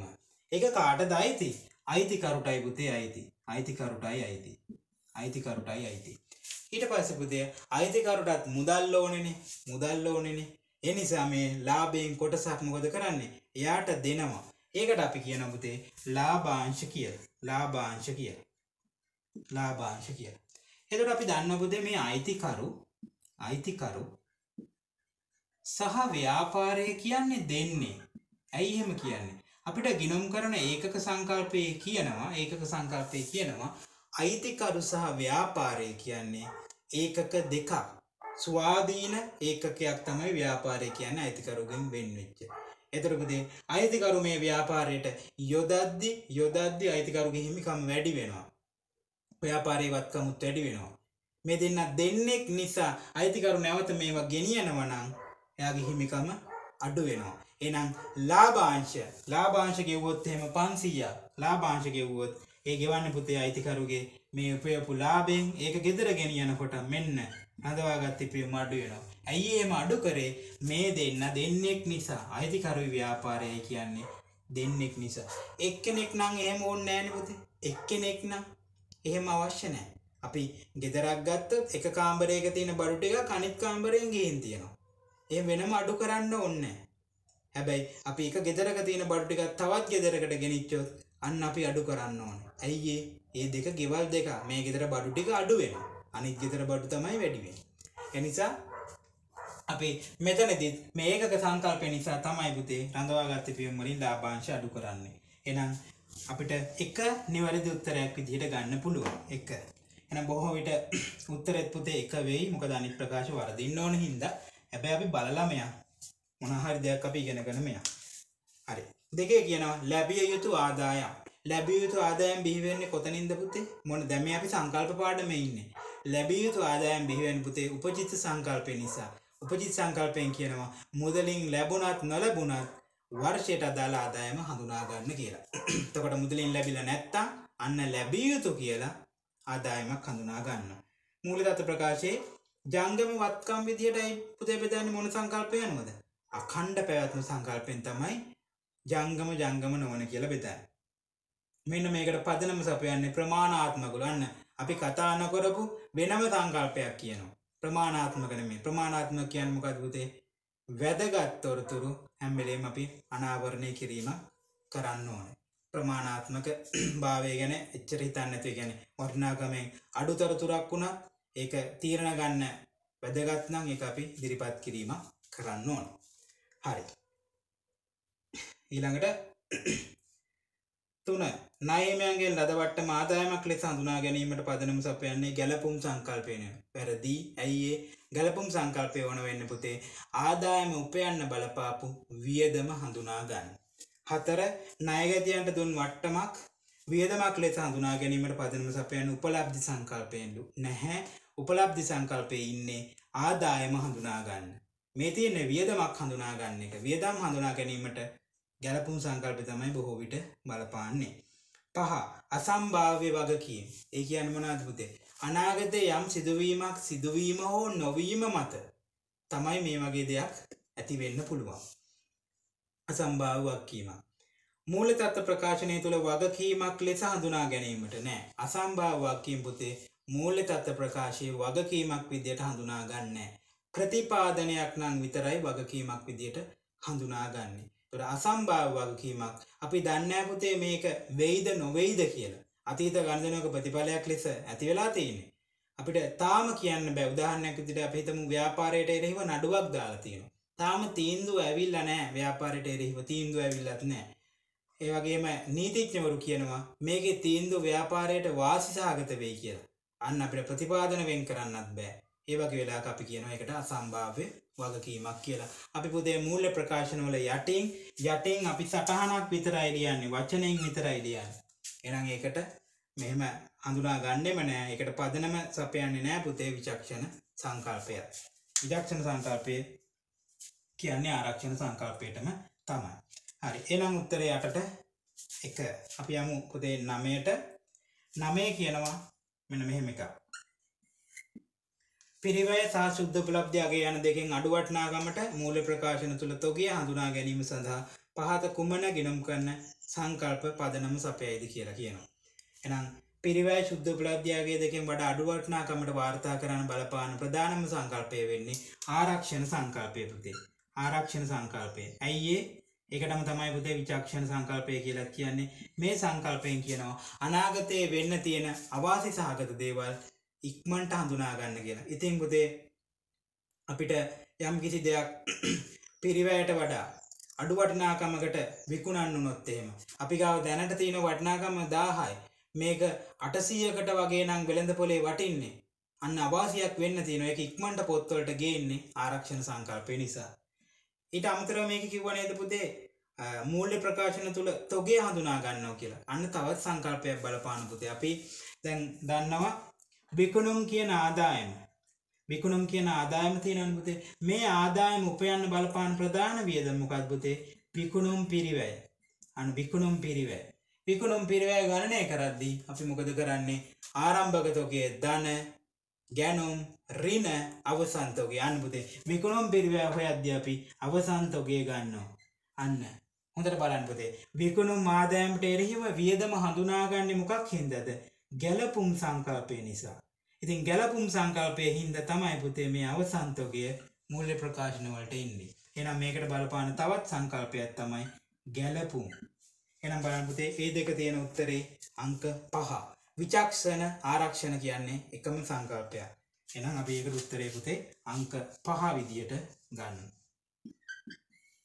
ඊළඟට 10 10 අපිට ගණන් තියෙන පුතේ 10 හදන්න.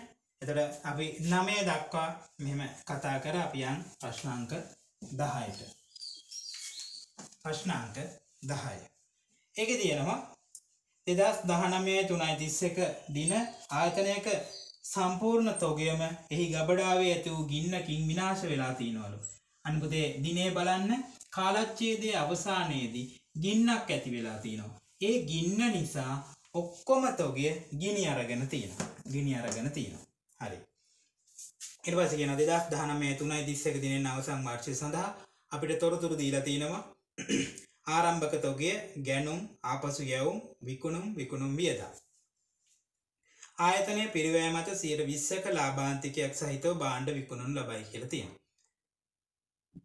තෙදස් දානමය තුනා තිස්සක දිනට පැවති තොගේ පිරිවෑන් සියට අසුවක් ගෙවීමට රක්ෂණ සමාගම එකඟ වෙලා තියෙන. ඇයිපතේ තොගේ ගිනිගත්තනේ තොගේ ගිනි අරගෙන ගියා හැබැ අපි රක්ෂණය කරලා තිබ්බහින්ද සියට අසුවක් හම්බුණ.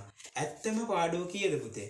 අපිතම උදාහරණයකට රුපියල් දාහක තෝගයක් ගිනි ගත්තා ගිනිගෙන නැතිම වෙලා ගිය තොට අපි කල්පනා කර කරින් නමුතේ දාහක් ගෙනි ගත්තන කියකි. හැබැයි ඒක රක්ෂණය කරලා තියෙනවනම් මේ වගේ සියට අසුවක් ගෙවන්න එක ගෙවුණොත් රක්ෂණ ආයතනය අපිට අටසීයක් හම්බෙනවා. පාඩුව කියන්න දෙසීයයි. පාඩුව දෙසියක් විතර. මේක යනවා දෙදස් දහනමය තුනයි තිස්සක දින විනාශූ තොගේ පිරිවෑ එකන ගිනිගත් තැනි තොගයක්. ඒක වටිනාකමයි. දෙදස් දානමය තුනයි තිස්සක දින නවසං වර්චය සඳහා හඳුනාගත් තොග හානි අලාබේ දැක්කන පුතාල මෙතන ඇත්තටම මුළු තොගේම ගිනිගත්තට සියට අසුවක් කම්බේනවා එනම් තොගහානිය කියද පුතේ ප්‍රතිශතයක් විදියට? සියට විස්සයි. සියට විස්සයි. හරි. මේ ගහන විනාශූ තොගේ පිරිවැයි තොගහානි අලාබේ. විනාශ වෙලා තියෙන පුතේ අවසන් තොගය. මනහොන්තට බලන් පුතේ. අවසන් තොගේ තමයි විනාශ වෙලා තින් අප මේ ඉන්න ප්‍රශ්නංක දහයි. දෙදස් දහනමයයි තුනයි තිස්සක තොගේ තමයි පුතේ විනාශ වෙලා තිය මේ තොගේ තමයි විනාශ වෙලා තිය ඒක තමයි අහන්න. එතකොට පුතාල දන්නව නේද? අපි මේ අවසන්තොගේ ගන්නවනේ විකුණුම් පිරිවෑ හොයන්න. විකුණුම් පිරෑ හොයද්දි කොහෙටද අවසන්තොගේ ගන්නේ? ආරම්භකතොගේ දන ගැනුම් රින අවසන්තෝගේ එතකොට එනවා විකුණුම් පිරිවෑ. එතට පුද මේක විකුණුම් පිරිවෑට අදාළ තොරතුරු ඔක්කොම දීලා තියෙන මේ බාන ආරම්භකතොගේ ගැනුම් ආපසියව මොක්කොම දීලා තියෙනවා. හරි. අපිට අවසන්තෝගේ තමයි නැත්තේ. විකුණුම් පිරිය විකුණුම් පිරිය හොයාගන්න තමයි පුතේ මේ ප්‍රතිශතය දීලා තින්නේ. 120ක ලාභාන්තිකයක් කියලා විකුණුමුත් දීලා තියෙනවා. එහෙනම් පුතේ අපිට මේකේ පොඩි විකුණුම් පිරිය හොයන තැනින් පුළුවන් අවසන් තොගේ හොයාගන්න. එහෙනම් ලියාගන්න පුතේ විකුණුම් පිරිය හොයන විදිය දැන් පුතාලා දන්නවා. ආරම්භක තොගය එකට එකතු කරනවා පුතේ ගැනුම්. හැබැයි මේකේ ආපසු යවුම් තියෙනවා. මෙතනම අඩු කරන්න පුතේ ආපසු යවුම්.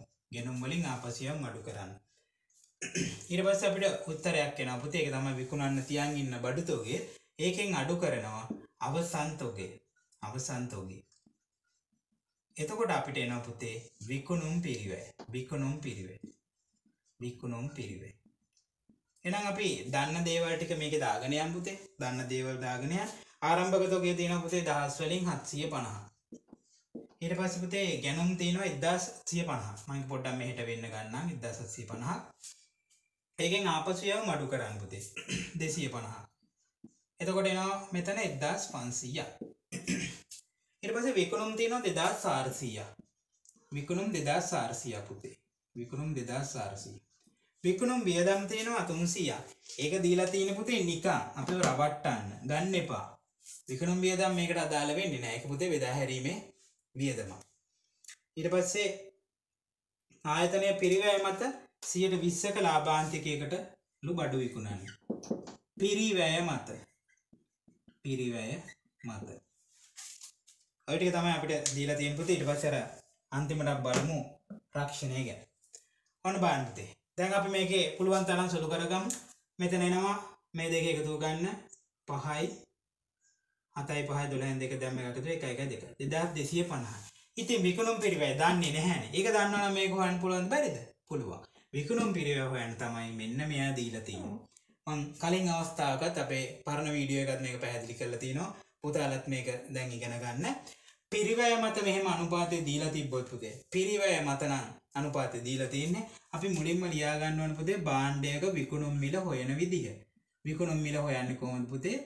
පිරිවැයට එකතු කරනවා දලලාභය විකුණුම් පිරිවැයට එකතු කරනවා දලලාභය එතකොට එනවා විකුණුම් මිල. එනම් බලන්න පුතේ. මේක දීලා තියෙනවා පිරිවැය මත ප්‍රතිශතය. හොඳට බලාගන්න. පිරිවැය මත දීලා තිබ්බොත් පිරිවැය මත නම් මෙන්න මේ පිරිවැය තමයි සීයයි කියලා කිය විකුණුම් මිල මත දුන්නන පුතාල මෙතනට දාන්න සීයක්. මුකුත් කියන්න ඇතුව දුන්නොත් ලාබාන්තිකය සියට විස්සය කියලා ඒත් විකුණුම් මිල මතටම දාගන්න. අන්න එමයි කරන්න. මේ ගානනම් පිරිවෑ මත පිරිවෑට දාග විකුණුම් මිල මත්ති බන පුතාල එතැන්ට දාන්න හරින? ඊළඟට දාන්න මේ දෙන සීයට අගේ බිස්ස එක දලලාපයන එක කෝමත්යන්න මෙතැන්ට. එනම් පුතාල විකුණුම් මිල එනවනිකම්ම එකසිය විස්සා එකසිය විස්සා මේක පොදේ මේ විදියට හදාගන්න. ඊට පස්ස අපිට පුළුවන් අපිට ඕන පිරිවෑ හොයාගන්න. විකුණුම් දන්නවා. දන්න එක්කෙන ලියාගන්න. විකුණුම් දන්නවා. විකුණුම් වලට අදාලාගේ පුතේ එකසිය විස්සයි. මේක එකසිය විස්සෙන් බෙදනවා. විකුණුම් ගත්තේ ගාන දීලා තිබ්බා. ඊට අදාලාගේ බෙදන් පුතේ අපි මේ ලියාගත්ත ප්‍රතිශතය මේ වගේ ලියාගත්ත ප්‍රසාරණය කර ලියාගත්ත එක හරි. ඊට පස්සේ අපිට අවශ්‍යකින් වැඩි කරමු. අපිට ඕන පුතේ පිරිවෑ හොයාගන්න. එනම් පිරිවැයෙන් වැඩි කරගන්න. එතට බාන් පුතේ කීයක් එනවද කියලා? මිදුව බිඳුව කැපෙනවා. දොළහේවා දෙකයි. දෙදාහක් කියෙන බාන් පුති සරලෝම අපිට හදාගන්න පුළුවන්. එනම් විකලොම් පිරුව මන්දාගන්න දෙදාහක්. අවසන්තෝකය කියද පුතේන දෙසීය පණහයි මොක දෙසිය පණහ කඩු කරහමන පුතේ දෙදාහන්නේ හරි. එන අවසන්තෝගේ දෙසිය පණහයි ඔන්න පුතේ අප එකක් හොයා ගත්තා දහවෙනි ප්‍රශ්නය විනාශූතෝගේ පිරිවෑ කියද පුතේ දෙසීය පණහයි විනාශූතෝගේ පිරිවෑ දෙසිය පණහයි හරි. ඊළඟ එක ඊළඟටමකක්ද තියන්නේ හත්තොක හානියලාබේ ඔන්න දෙසිය පනක් පුතේ විනාශ වෙලා අතිනවා හරි. දෙසිය පනක් විනාශ වුණා. මේකෙන් සීයට අසුවක් ඉන්ශුවරන්ස් කරලා ඉන්ශුවරන්සකෙන් දෙනවා. සීයට විස්සක් අනේ කොහෙන්වත් හම්බුවෙන්නේ නැහැ. ඒක තමයි තොග හානියවෙන් කියද? දෙසිය පණහ වැඩි කිරීම සීයට විස්ස. විසිපය දෙකක් පණහයි අනුපුදේ පණහයි තොගහානිය පණහයි තොගහානිය පණහයි තොගහානිය පණහයි එනම් උත්තර ගන්න පුතේ විනාශූතෝගේ දෙසිය පණහයි තොගහානිය පණහයි උත්තරේ ගන්න එක නේද පුතේ? දහයට එක. දහයට එක. උදාලත් බලන්න ඒ උත්තරේ ඒ විදියට ගන්න. එනම් අපි අම්බුතේ ඊළඟකට එකොළහා දොළහා ප්‍රශ්නවලට පිළිතුරු සපයන්න මෙන්න මේ තොරතුරු ටික ගන්න කියලා කියන්න. අපට කියනවා දෙදස් දහනමයයි තුනයි තිස්ස එක දිනෙන් අවසන් වර්ෂය සඳහා චතුරිකා ට්‍රේඩස් හි කෙටුම් පත් රවුන් කරගන්න පුතේ කෙටුම් පත් වචන. කෙටුම් පත් කියන්නේ ඕක කොහරි වරදත් තියෙනවා. කොහරි වරදත් තියෙන කෙටුම් පත් කියන වචන තේරුම එක මුල්ල ප්‍රකාශනලින් පහර තොරතුරු පුටා ගන්න ලදි. දරලාබේ පරිපාලන වියදම් බෙදාහැරීම වියදම් මුල්ල හා වෙනත් වියදම් කියල දීලා තියෙනවා. කෙසේ වුවද කෙටොම්පත් මූල ප්‍රකාශන පිළියල කිරීමෙන් පසු පහත දෑ හෙළිදරව් විය. මෙන්න මේටික අරගෙන නැතුව ඇති. අන්බාන් එදත් දානමය තුනයි තිස්සක දිනට ගෙවියයුතු කාර්යාල සේවක වැටුක් තිස්දාහ සහ බිකනෝම් කොමිස් විසි දාහගෙනුම් ගත වෙලා නැහැල්ලු. අන්න ඒවා අරගන්න නැතු අරගෙන තියෙන ඉදිරියට ගෙව ගොඩනැගිලි කුලිය වූ හතලිස්දාහ පරිපාලන වියදම්මට දාලව අපි ඊළඟ මාසකට ගෙවල තියෙන පුතේ මේ කුලිය ඒවයිනම් මේ මාසි වීදමක් වෙන්න ඒවත් අරගන්නු ඉලානිගෙන මෝටර අදශය පනස් දාහ බෙදාහැරීම වියදම් තුළ ඇතුළත් කර ඇත නවතින් එතන.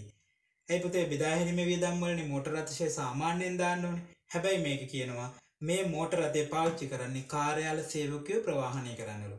එහෙමනං කොහෙද දාන්න ඕන්පතේ. කාර්යාල සේවකයෝ ඉන්නේ පරිපාලන කටයුතු සඳහා. ඒනං මෝටරතය බෙදාහැරීමේ කටයු සඳහා නෙමේ පාවිච්චි වෙන්නේ පරිපාලන කටයුතු සඳහා. තොට පරිපාලන විදම් විජි තමයි එන්න ඕන. මේ හන පුතාලගේ අදාළ ගැලපීම් කරමින් පසු දෙදස් දානමය තුනයි තිස්සක දින අවසන් වර්ෂය සඳහා නිබැරදි පරිපාලන වියදම් සහ බෙදාහැරීමේ වියදම් පෙන්න්නලු පරිපාලන වියදම් සහ බෙදාහැරීම වියදම් ඊලාට හනම අදාළ ගැලපීම් කිරීමෙන් පසු දෙදස් දානමය තුනයි තිස්සක දින අවසන් වර්ෂය සඳහා ලාභයත් අහනවා. හරි. අපි හදාගෙන අම්පුතේ පරිපාලන වියදම් සහ බෙදාහැරීමේ වියදම්. එකොළහා. එක පැත්තක පරිපාලන වියදම් ගන්න. අනිත් පැත්තේ බෙදා හැරීමේ වියද. දැනට ගාන තියෙනකුදේ පරිපාලන වියදම් ගානෙන් බල්ල ගන්න දෙසිය හැත්ත පහක් දහස්වලින් පරිපාලනයදම් බෙදා හැරීමේ වියදම් දෙසීය දහස්වලින්. ඊට අමතර අපේ දොළොස්වනි ප්‍රශ්නය අනපතේ මේකේ ලාබේ මේ දෙක හරි උත්තර අරගෙන අපිට ලාබේ හොයාගන්න පුළුව. එනම් පුතේ පලයෙන් පොයින්ටේ බලන්න මේක අරගන්න හැල්ලු ගෙවන්න තිබ්බ සේවක වැටු තිස්දා එන අපි එක් ගන්න ඕනේ පරිපාලන වියදමක් ඒකට එකතු කරමු තිහක් ඊට පස්සේ විකුණුම් කොමිස් 20 ගිණුම් ගත වෙලත් නැහැ. විකුණුම් කොමිස් බෙදා හැරීමේ වියදම එනම් ගිණුම් ගත වුණාම බෙදා හැරීමේ වියදම් වලට එකතු වෙන්න ඕනේ. ඊට පස්සේ කිව්වා ඉදිරියට ගෙවූ කුලිය 40000 පරිපාලන වියදම් වලට දාලව. මේ ගෙවලා තියෙන පුතේ ඊළඟ කාලච්ඡේදයට. එනම් මේ කාලච්ඡේදයේ වියදමක් නෙමෙයි. එනම් මේක අයින් කරමු. 40ක් මේකෙන් අයින් කරන්න ඕනේ. 40ක් අයින් කරන්න ඕනේ. අන්තිම පොයින්ට එක. මෝටර් රථශය පනස් දාහ මොකක්ද වෙලා තිබි පුතේ? ඒක දාගන තිබ්බේ බෙදාහැරීමේ වියදම්වල්ලු නමුත් ඒක එන්න ඕනේ පරිපාලන වියදම්වලට ඇයි? පරිපාලන සේවකයෝ තමයි මේක ප්‍රවාහණය කරන්න. කියද්ද පණහා එනම් බෙදාහැරීම වලින් පණහක් අඩු කරලා පරිපාලන වියදම්වලට පණහක් එකතු කරනවා. හරි. මේ ටිකේ එකතුව ගන්න පුතේ. මේ ටික එකතුව. දෙසිය හැත්ත පහයි ධන තිහයි රින හතලිහයි ධන පණහයි. මෙතන නොබදේ තුන්සිය පහළවක්. මෙතනෙනවා දෙසිය විස්සෙන් පණහක් ගිහාම එකසිය හැත්තෑවක් යන බන්මුදේ මුත්තරයක් තියෙනවද කියලා? තුන්සිය පහලව එකසිය හැත්තෑවයි උත්තරයංක හතර. එකොළහට පුතේ එන්නේ හතර. දොළහාල තිබ්බේ මොකක්ද ලාබය ලාබය අහන්න. අදාළ ගැලපීමින් කිරීමෙන් පසු බලමුද මේකේ දලලාබේ දැනට දීලා තියෙනවා අටසිය පණහක් අපිට එනම් එකින් හදාගන්න පුළුවන්. දලලාබය අටසිය පණහයි ඒකෙන් වියදම් අඩු කරගෙන යම්පුතේ පරිපාලන වියදම් දැන් දන්නවා. තුන්සිය පහලවක් අඩු කරන්න. බෙදෑහැරීමේ වියදම් කියදපුදේ එකසිය හැත්තෑවකුත් අඩු කරන්න. මෙතනින් උත්තරේ ගන්න පවන්න වර්දිනතන මොකද පුතේ මේකේ මූල්‍ය සහ වෙනත් වියදම් තියෙනවා 100 ඒකත් ගන්න ඕනේ. මූල්‍ය සහ වෙනත් තියදා මූල්‍ය වියදනුත් තියෙනවා. ඊට පස්සේ අපිට එනවා ලාභය. ලාභය එනවා. 850 ඍණ 315 ඍණ 170 ඍණ 100 පුදාලට එනවා 265 265 265 තමයි ලාභයෙන් ශුද්ධ ලාභය 265 බන් පුතේ උත්තරයක් තියෙනවද කියලා ඔව්. 3 12ට තුන උත්තරේ. තහ තුන. දෙදස් දහනමේ තුනයි තිස්සක දින නවසන් වර්ෂය සඳහා නිෂ්පාදන ව්‍යාපාරයක ප්‍රාථමික සහ මුළු නිෂ්පාදන පිරිවෑ පිළිවලින් ලක්ෂ නමයක් සහ ලක්ෂ දාසයක් විය කියල තියෙන. එතර පුතාල දන්නවා කොහොමද ව්‍යාපාරයක නිෂ්පාදන පිරිවෑ හැදෙන්නේ නිෂ්පාදන පිරිවෑ හැදෙන්නේ කොහොමද ප්‍රාථමික පිරිවෑ දන ප්‍රාථමික පිරිවෑ දන පොදුකාරය පිරිවෑ නිෂ්පාදන පොදුකාරය පිරිවෑන් තමයි හැදෙන් හරි. අපි එම්පුදේ මේගේ ඊළඟ ප්‍රශ්නයට දහතුන නැම්බුදා දන්නවා බාණ්ඩයක නිෂ්පාදන පිරිවෑ හැදෙන්නේ ප්‍රාථමික පිරිවෑයට ප්‍රාථමික පිරිවෑයට. මොකක් එකතු නම්ද පුතේ? නිෂ්පාදන පොදුකාරය පිරිවෑ එකතු වුණාම අපිට එනවා නිෂ්පාදන පිරිවැය. නිෂ්පාදන පිරිවැය. හැබැයි නොනිමිහෙම තිබ්බොත් නොනිමිහෙම තිබ්බො සාමාන්‍යයෙන් ගලපන්නේ නිෂ්පාදන පිරිවැය ගාව. කොහොමද නොනිමි ගලපන් පුතේ? ආරම්භක නොනිමි එකතු කරලා ආරම්භක නොනිමි එකතු කරනවා අපි. අවසාන නොනිමි අඩු කරනවා. අවසාන නොනිමි අඩු කරනවා. ඇයි ආරම්භය තිබ්බ නොනිමි දැන් නිමි වෙලා. අන් නිෂ්පාදන පිරිවැයට දැන් ගන්න පුළුවන්. අවසානයේ නොනිමි තාම හදල නෑ. ඒ නිසා නිෂ්පාදන පිරිවැයට ගන්න නෑවා අයින් කරනවා. දැම් මේ කියන පුතේ ප්‍රාථමික පිරිවැය සහ නිෂ්පාදන පිරිවැය පිළිවලින් ලක්ෂ නමයක් සහ ලක්ෂ දාසයක් පිය කියලාවන් දහස්වලින් ගන්න ප්‍රාථම කිරුවය නම සියයිලු නිෂ්පාදන පිරිවැය පුතේ යටම තියන්න එක එද්දා සයිසීයයි අනිපත මෙතන පේනව නේද? මංක ලොකොට ගන්න. නිෂ්පාදන පොදුකාර පිරිවැය. ඊට පස්සේ ඒකට එකතු කරන්න පුතේ නොනිමි ගැලපීම ආරම්භක නොනිමි එකතු කරනවා අවසාන නොනිමි අඩු කරනවා. අවසාන නොනිමි. එතකොට අපිට එනවා පුතේ නිෂ්පාදන පිරිවැය. නිෂ්පාදන පිරිවැය මේ ගාන දීලා තියෙන පුතේ අපිට 1600 දහස් වලින් ඊට පස්සේ දෙදස් දහටයි තුනයි තිස්ස එක සහ දෙදස් දහනමය තුනයි තිස්ස එක දිනයන්ට නිෂ්පාදන පිරිවෑයට මිනුම් කරන ලද නොනිමි තොග පිළිවලින් දෙසීයක් සහ තුන්සිය තිහක් වියලු. අන්න ආරම්භේ තියෙනල් පුතේ දෙසීයක් ආරම්භයේ 200ක් තියෙනවලු. මෙන්න ආරම්භයේ 200ක් තියෙනවලු. අවසානයේ පුතේ 330ක් තියෙනවලු. ඒක අඩු කරනවා. ඒක අඩු කරනවා. ඊට පස්සේ කියනවා 2019 3යි 31 දිනේ නවසන් වර්ෂය සඳහා නිෂ්පාදන පොදු කාර්ය පිරිවැය කොපමණද කියලා අහනවා. මෙන්න මෙයා වහන්නේ. ඉතින් හරි ලේසියට හදන්න පුළුවන් නේද අපිට? පල්ලෙහා ඉඳන් අපි උඩට යන්න. පල්ලෙහා ඉඳන් උඩට යන්න. දැන් පුතාලා ගාව කැල්ල එක තියෙනවා. හදන්න 1600 හැදෙද්දී 330ක් අඩු වෙලා. එහෙනම් ඒක අයින් කරන්න අපි එකතු කරනවා 330. ඊට පස්සේ 200ක් එකතු වෙලා. ඒක අයින් කරන්න 200 අයින් කරලා දාන්න. ඍණ 200යි. ඊට පස්සේ එනවා පුතේ 1730. මෙන්න මෙතනට එනවා. මෙතනට එනවා පුතේ 1730. 1730. හරි. 1730ක් එනවා. හරි. 1730 ඇවිල්ලා තියෙන්නේ කොහොමද? 900යි මේකයි එකතු වෙලා. එහෙනම් 1730න් 900ක් අඩු කරාම අපිට පුළුවන් නිෂ්පාදන පොදුකාර්ය පිරිවෙල හොයාගන්න 830ක් එනවා. මම දේ 830ක් එනවා. උත්තරේ අංක 3. 13ට 3. හරි. අපි 14ටත් එමු. ඒකේ තියෙනවා මෙන්න මෙහෙම. සුබ සාධක සමිතියක. 2019 331 දිනෙන් අවසන් වර්ෂය තුළ සිටි සාමාජික සංඛ්‍යාව එකසිය පණහයිලු. සාමාජිකගේ වාර්ෂික සාමාජික ගාස්තුව දෙදාහයිලු. අන්බුද සාමාජිකයෝ කියක් ඉන්නවාද? එකසිය පණහක් ඉන්නවා සාමාජිකයෝ. ඉට පස්සේ සාමාජික මුදල වර්ෂයකට ගෙවන්න ඕනෙලු. කියද්ද දෙදාහක් ගෙවන්න ඕනෙලු මෙන්න සාමාජිකයෝ. සාමාජිකයෝ. හරි. ඊට පස්ස කියනපුතේ දෙදස්ථානමේ තුනාතිස්සක තින නවසං වර්ෂය තුළි සමිතියට ලද මුදල් ප්‍රවර්තන වර්ෂය සඳහා හම්බෙලා තියෙන පුතේ ලක්ෂ දෙකයිලු ලක්ෂ දෙකයි. පරිත්‍යාගය කම්බෙලා තියෙනවා දෙලක්ෂ පනස්දාහක. මුදලින් හම්බෙච්ච දේවල්. ඊට පස්සේ කියනවා 2018යි 331 දින කල්පෙරුණු ස්ථාවර තැන්පතුවෙන් ලද මුදල් 560000ක් මෙයින් 60000ක් පොලි ආදායම් වන අතර එය 2018යි 331 දිනට ලැබිය යුතු පොලි ආදායම ලෙස හඳුනාගෙන ඇතලු. එන පුතේ බලන්න අපි ඉන්න කාලච්ඡේදෙත් බලන්න පුතේ. අපි ඉන්නේ 2019යි 3.31කින් අවසන් වර්ෂය තුල. 2019 3.31කින් අන්තිම අවුරුද්ද තමයි අපි ඉන්නේ.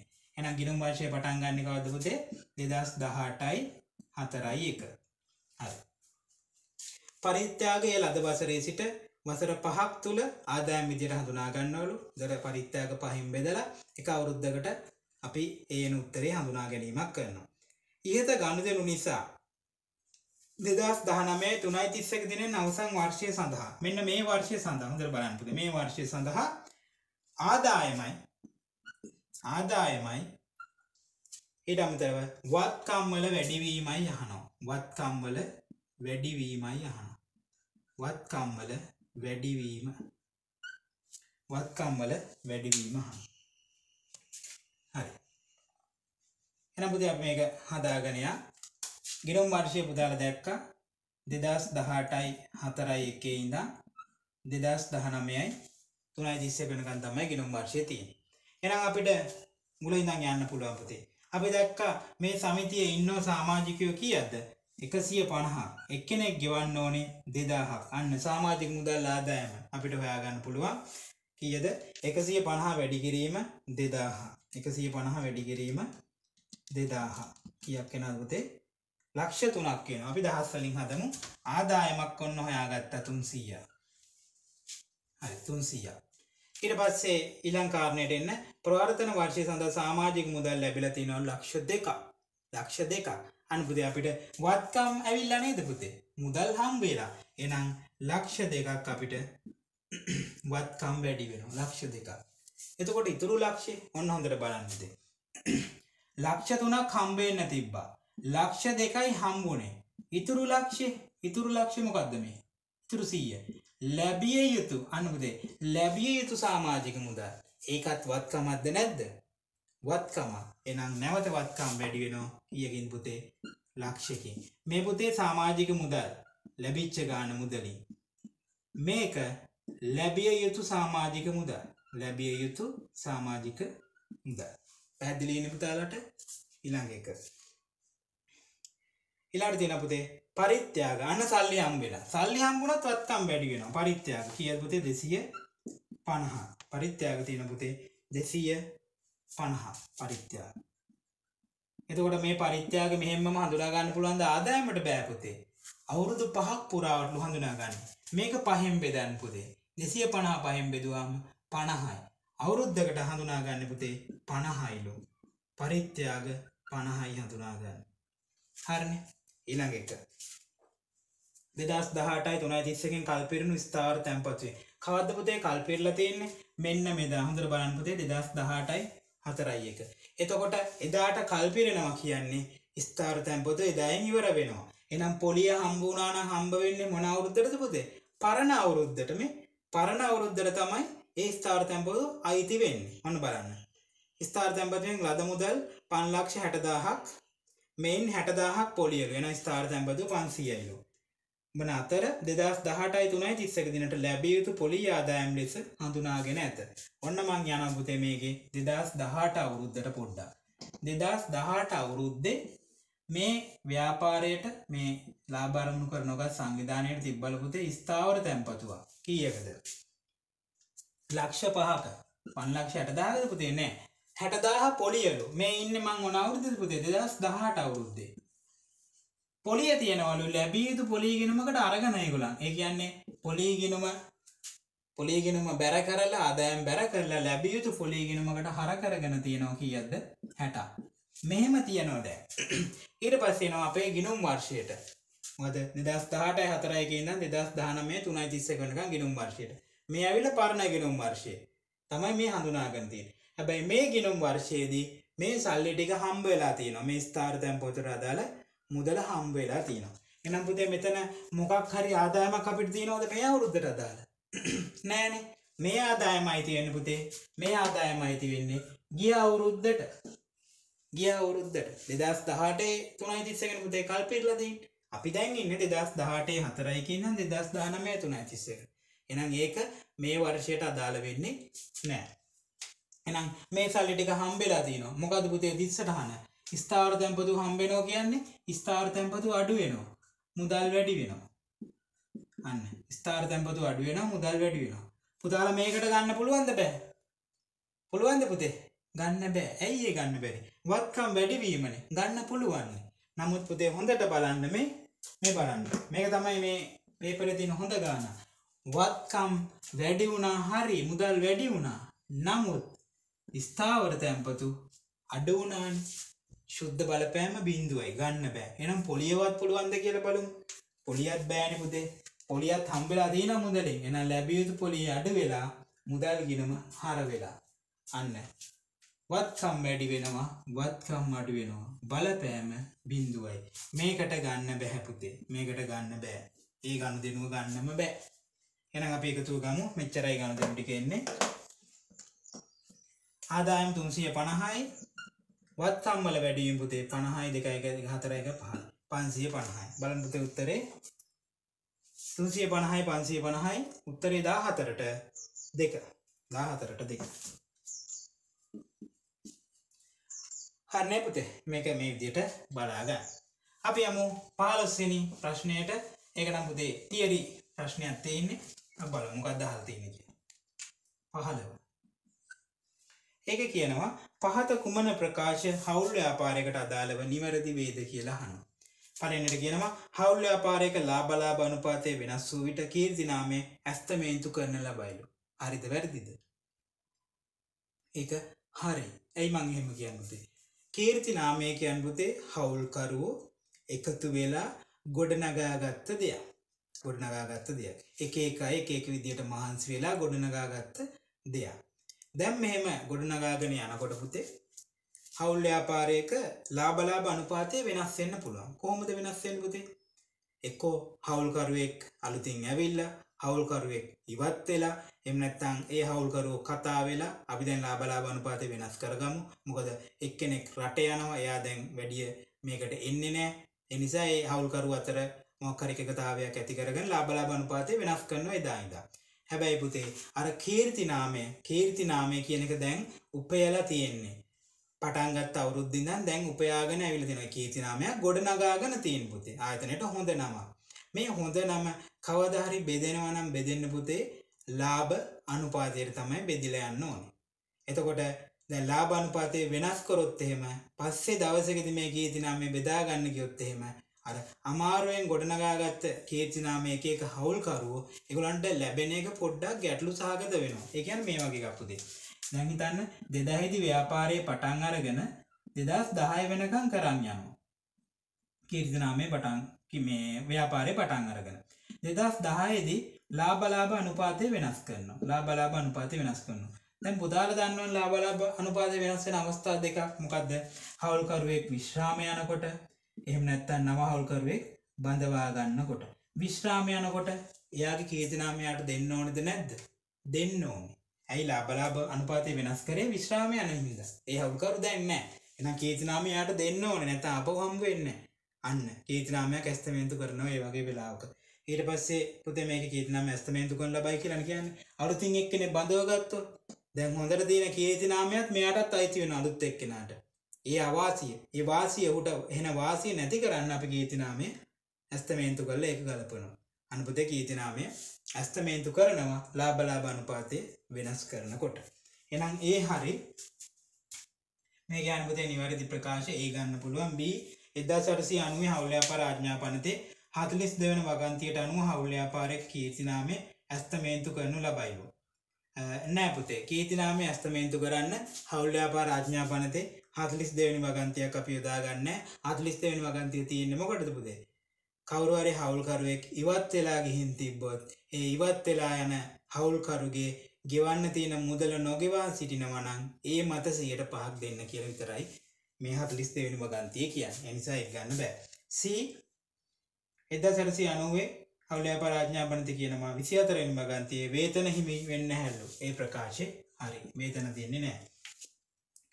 හවුල්කරුවන් ඉතින් ලාභය ඉවත් කර ගැනීමේ ක්‍රමයක්ලු ගැනිලි. ඔව්.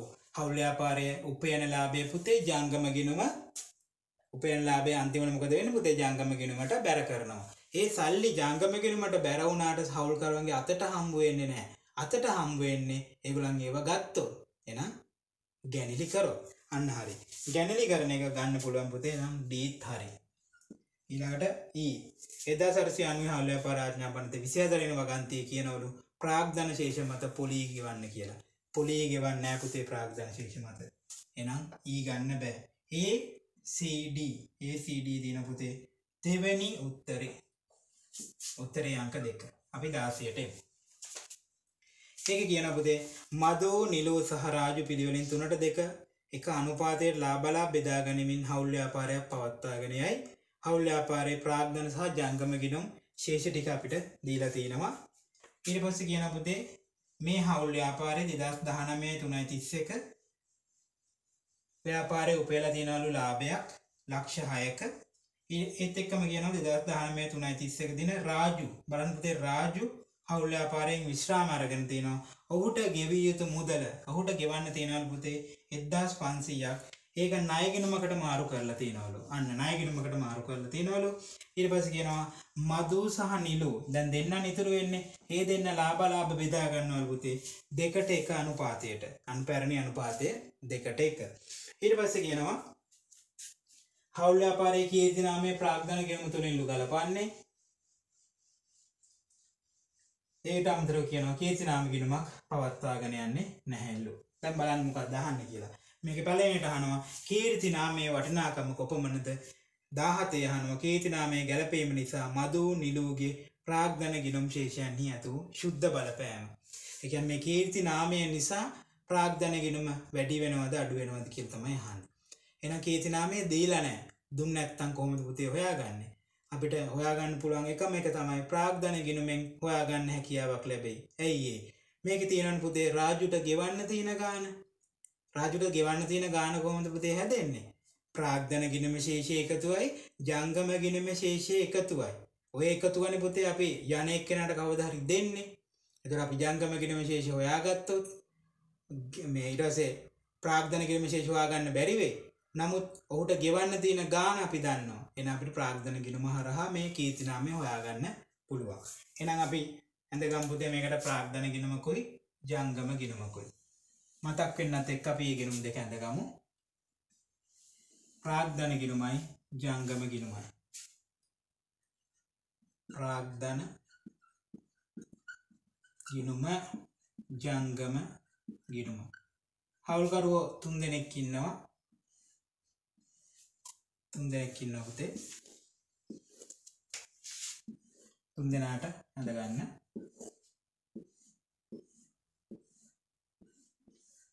තුන් දෙනා තමයි මදු නිලූ සහ රාජු. මදු නිලු රාජු. මදු නිලු රාජු. මදු නිලු රාජු. මදු නිලු රාජු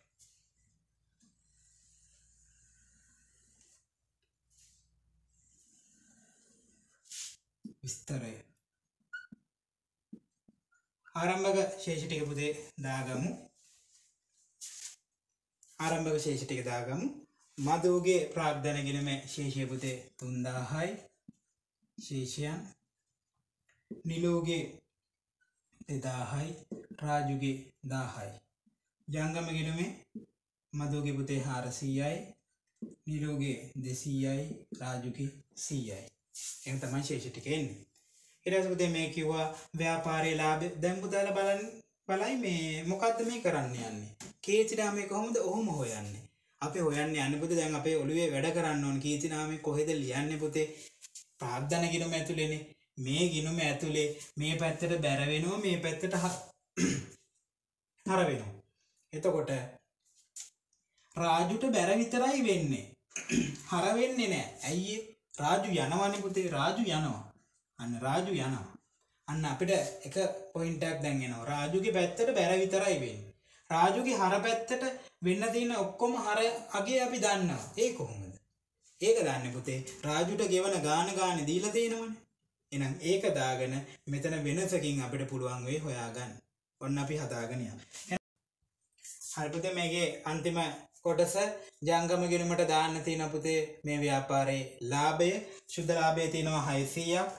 එතකොට අපි දන්නවා ලාභය විසර්ජනය කරද්දී ලාභය විසර්ජනය කරද්දි ශුද්ධ ලාභයම බෙදෙන්නේ නැහැ.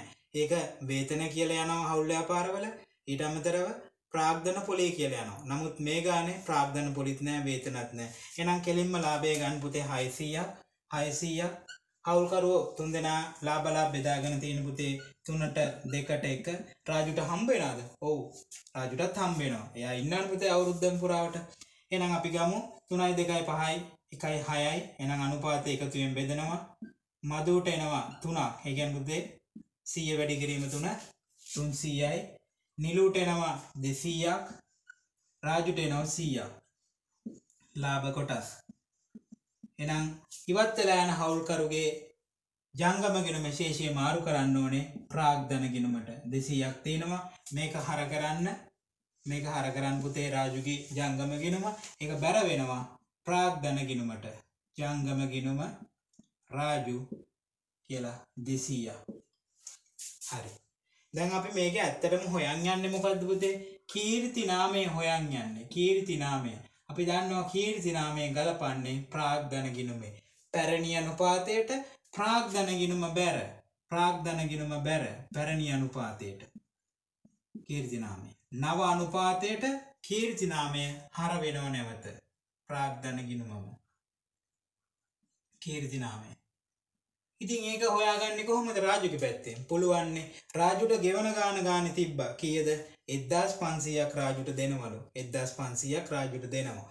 දෙන්න තියනවා. ඒක මුදලින් ගෙවලද පුතේ? නෑ. ණයගෙනුමකට මාරු කරලා. දිස්සරහන් මොකද්ද? මේ තියෙන රාජුට දෙන්න තියෙන අගයන් වල එකතු මේ පැත්තෙනවා.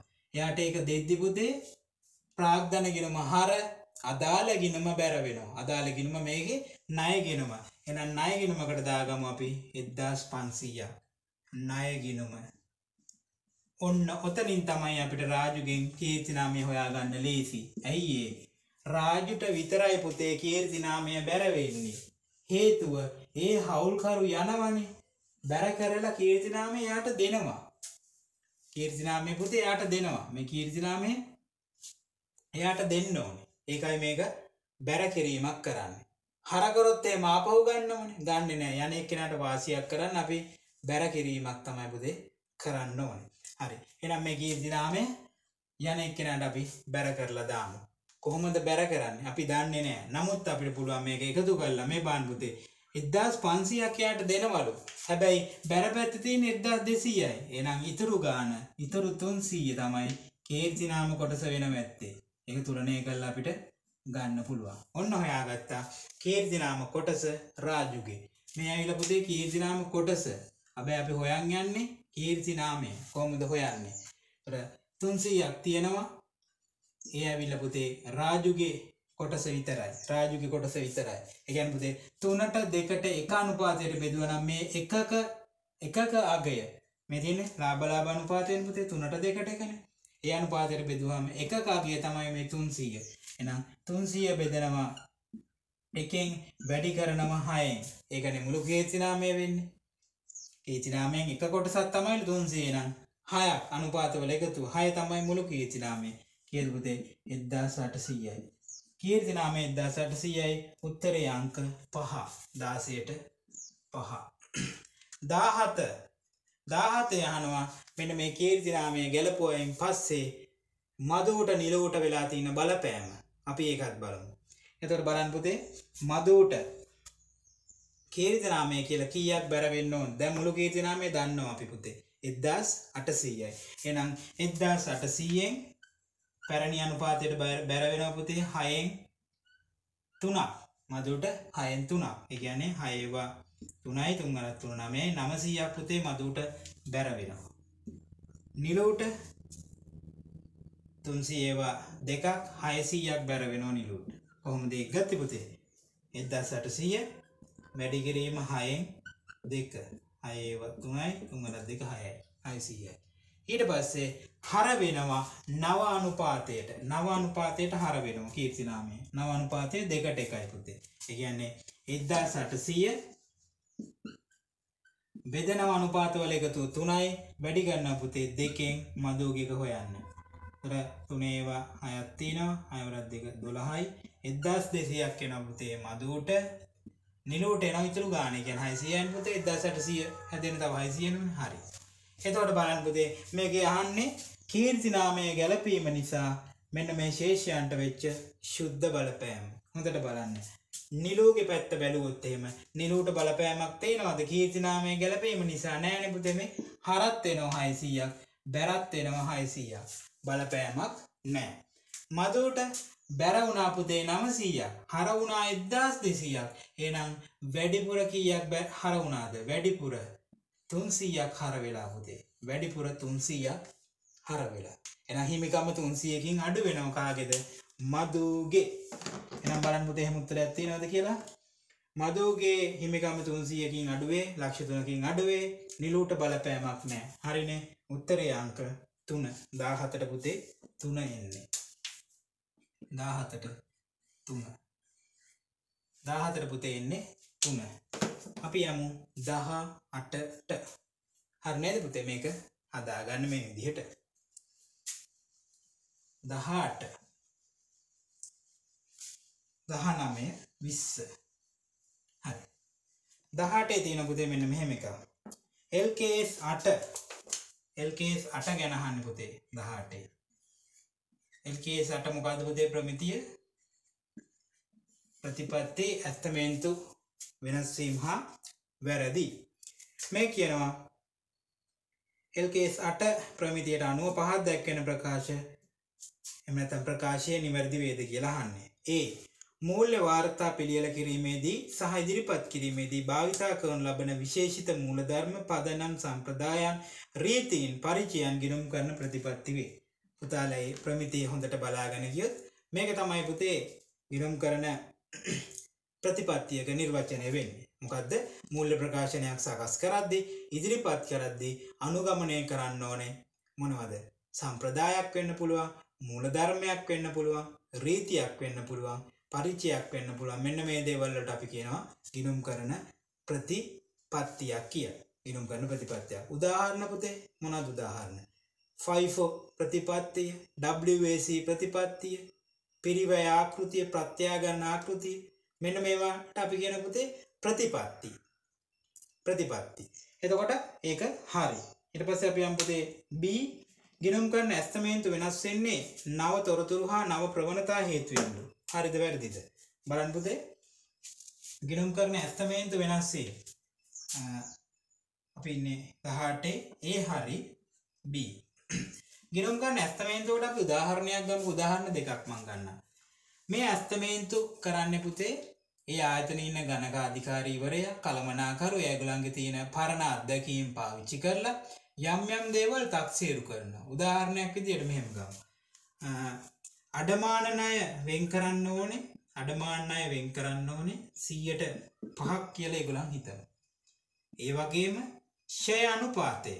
ෂය අනුපාතයත් ඒගොලන් තීරණය කරන්න. එම නැත්තම් පුතේ අපි ගමුකෝ පලදායි ජීව කාලේ පලදායි ජීව කාලයත් ආයතනය විසින් තමයි තීරණය කරන්න. පාලදායි ජීවකාලය තීරණය කරන පුතේ වාහනවල අවුරුදු දහයයි කිය ඔන්න ඇස්තමේන්තු දෙකක් මං ගත්තා.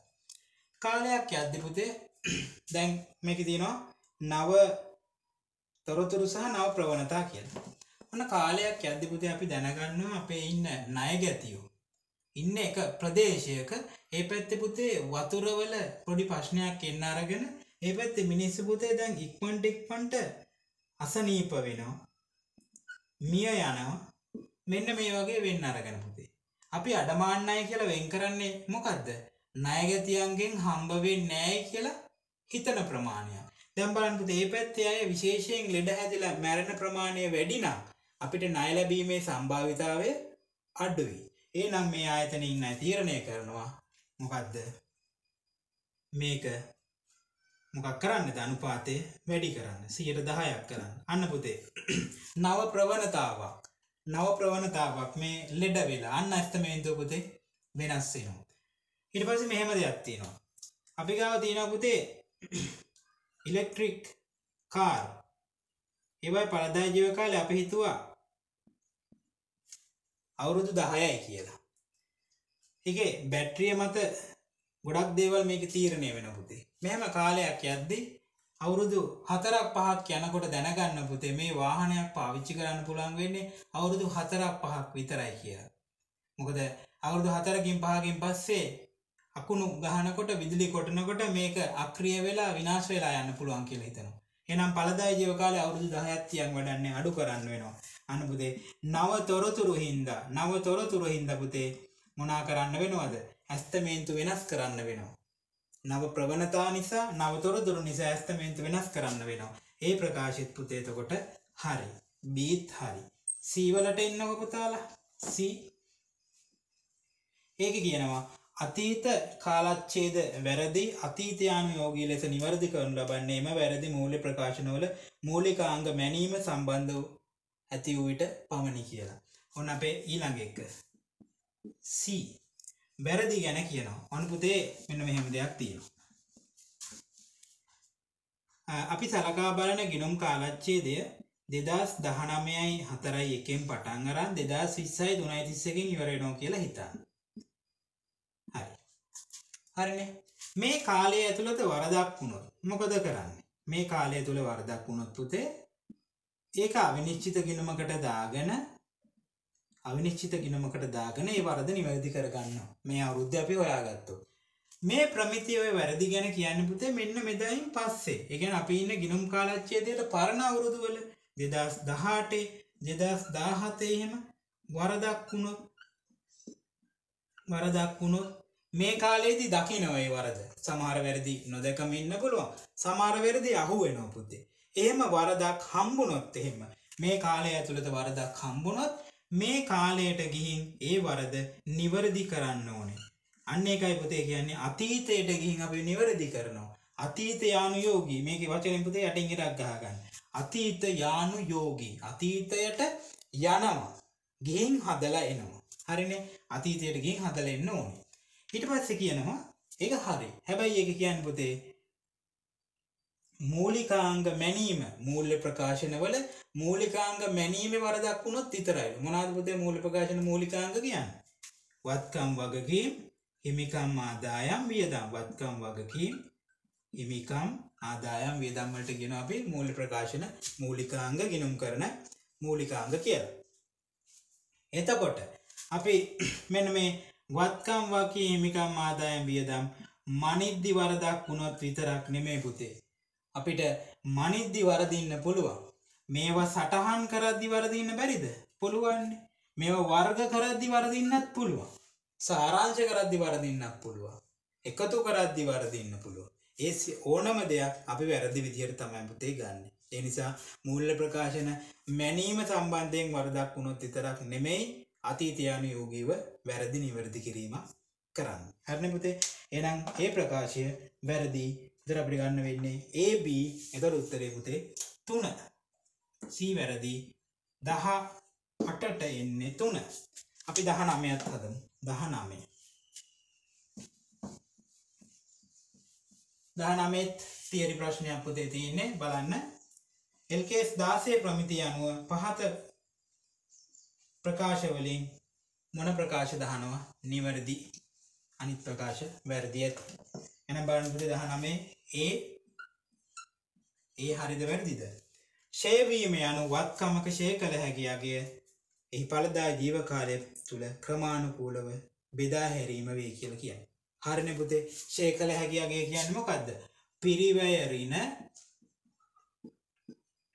සුම්බුන් අගේ පිරිවෑරෙන සුම්බුන් අගේට අපි කියන පුතේ ශය කළ හැකියාගේ කියලා. මේක බෙදනවා පලදායි ජීව කාලයෙන් පලදායි ජීව කාලය එතකොට අපිට එනවා ශය එනම් ඒවල කියන්නේ ඒක නේද පුතේ? ශය කියන්නේ ශය කළ හැකි වටිනාකම. මේකට කියන්නේ ශය කළ හැකි වටිනාකම. පිරිවැයෙන් සුම්බුන්ගේ අඩු කරාම. ඒක පලදා ජීව කාලය තුළ ක්‍රමාණුකූලෝ බෙදාගත්තා මේකට කියනවා ශය කියලා. ඒ හරි. B. ශේ කළ හැකි වටිනාකම යනු වත්කමක පිරිවැය හෝ පිරිවැය සඳහා ආදේශ කළ වෙනත් අගේකින් සුම්බුම් අගේ අඩු කළ පසු ලැබෙන ගියයි හරිනේ? මේක තමයි ශය කරන්න පුළුවන් අගේ. සුම්බුන් අගේ ශය කරන්නේ අපි. එනම් බීත් හරි. C. පලදායි ජීවකාලය යනු ආයතනය විසින් වත්කමක් භාවිතා කිරීමට අපේක්ෂා කරන කාලසීමාව හරි. අපි හිතනවා අවුරුදු පහක් මේක පාවිච්චි කරන්න පුළුවන් වේ කියලා. ප්‍රකාශ තුනම හරි උත්තරය වෙන්නේ පහ. දහනමයට පහ. විස්ස. විස්ස.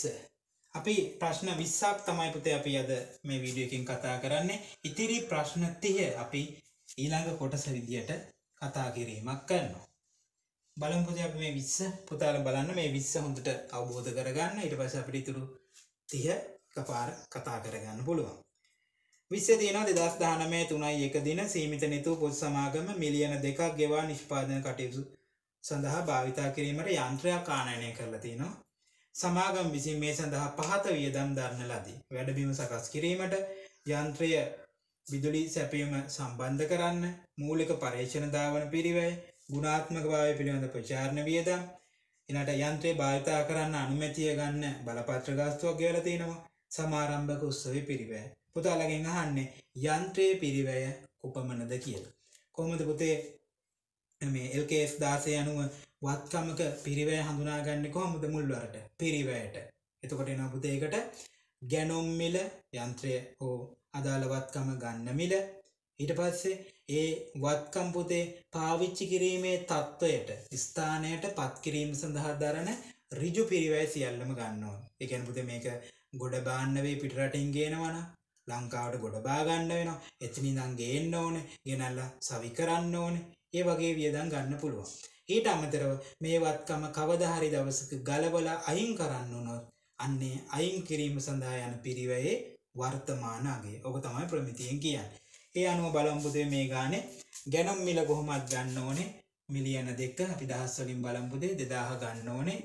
ගැනුම් මිල ඊට පස්සේ වැඩබීම සකස් කිරීම පිරිවෑ ගන්න ඕන පුතේ. නැත්තං අපට මේ යන්ත්‍රය හයි කරන්න බෑ. වැඩබීම සකස් කිරීමේ පිරිවෑ ගන්නවා. ඊට පස්සේ විදුලියට සම්බන්ධ කරගන්න ඕනේ. නැත්තම් පාවිච්චි කරන්න බෑපුතේ ඒකත් ගන්න ඕන. දහය. ඊට පස්සේ මූලික පර්ේෂණ ධාවන පිරිවෑ. මූලික වටයක් දුවන්න ඕන පුතේ. නැත්තං මේක එහෙම චෙක් කරන්න ඇතුව ඔක්කොම නිෂ්පාදනය පටන් අරන් කරන් ගියොත් එහෙම ලොකු නිෂ්පාදනයක් ලාපව් හැරල බලද්දි හරියට වෙලා නැත්තා අපිට ඇත්තටම වැඩක් වෙන්න නෑ. එනිසා ඒ සඳහා යන වියදම්පුතේ අපිට ගන්න පුළුවන්. මේක විස්සයිනේ පුත විස්සයි. හැබැයි ඒ මූලික පරීක්ෂණයේදී අපි බිස්කට් හැදුවනම් ඒක හදන බිස්කට් එක විකුණලා ආදායමක් ගත්තොත් පහක මේ විස්සෙන් ඒ පහ අඩු කරලා පහළොයි පුතේ මෙතන ලියන්නේ. ශුද්ධාගේ ලියන්නේ. මේක නම් ඒ විකිණීමක් ගැන කියලා නැහැ. ඊට පස්සේ ගුණාත්මක භාවය පිළිබඳ ප්‍රචාරණ වියදම 60යි අපිට ඒක ගන්න බෑ පුතේ. අපිට ඒක දරන්න ඕනේ නැහැ. යමතිනම් දරන්න පුළුවන් නොදර ඉන්නත් පුළුවන්. අනිවාර්යෙන් දැරිය යුතු දෙයක් නෙමෙයි පාවිච්චි කිරීමේ තත්ත්වයට ගේන්න ඒ නිසා එක් ගන්න හැබැයි බලපත්‍ර ගාස්තු පුතේ ගන්න ඕන. නැත්තම් මේක පාවිච්චි කරන්න බෑන පුතේ. බලපත්‍ර ගාස්තු ගන්න ඕනි. ඊට පස්සේ සමාරම්භ උත්සවයක් තියන්න ඕන්න නෑනේ. එනිසා එක් ගන්න පුතේ. මෙච්චරයි ගන්න. එන මේ ටික එකතු කරන්න. බින්දුවයි තුන දෙකයි පහයි එක හය හය දුරෙන් දෙක දැම්ම එකක් ඉතුරු. එක එකයි දෙකයි දෙකයි. දෙදස් දෙසිය විස්සක් එන බන්පුතේ දහස්වලින් ගත දෙදස් දෙසිය විස්ස උත්තරේ අංක අතර. හරිපුතේ මේ විදිර තමයි දෙදස් දානමය පේප එකේ පළවෙනි ප්‍රශ්නය ඉදං විසිවෙනි ප්‍රශ්නය දක්වා අපි උත්තර ටික නිවරදිව ලබා ගැනීමක් කරන්න. ඉතින් අපි ඊළඟ ප්‍රශ්න ටික ඊළඟ වීඩුව එකෙන් කතා කරනවා දොට පුදාල මේ ප්‍රශ්න ටික හොඳට පුරුදු වෙන්න හදල බලන්න අපි උත්තර ගන්න විදිිය සියලු පැහැදිලි කිරීම් සමඟ කතා කිරීමක් කර. එනම් පුතේ ඊළඟ වීඩියෝකින් හම එනකා දොලපුතාල් හැමෝටම සුබ දවසා.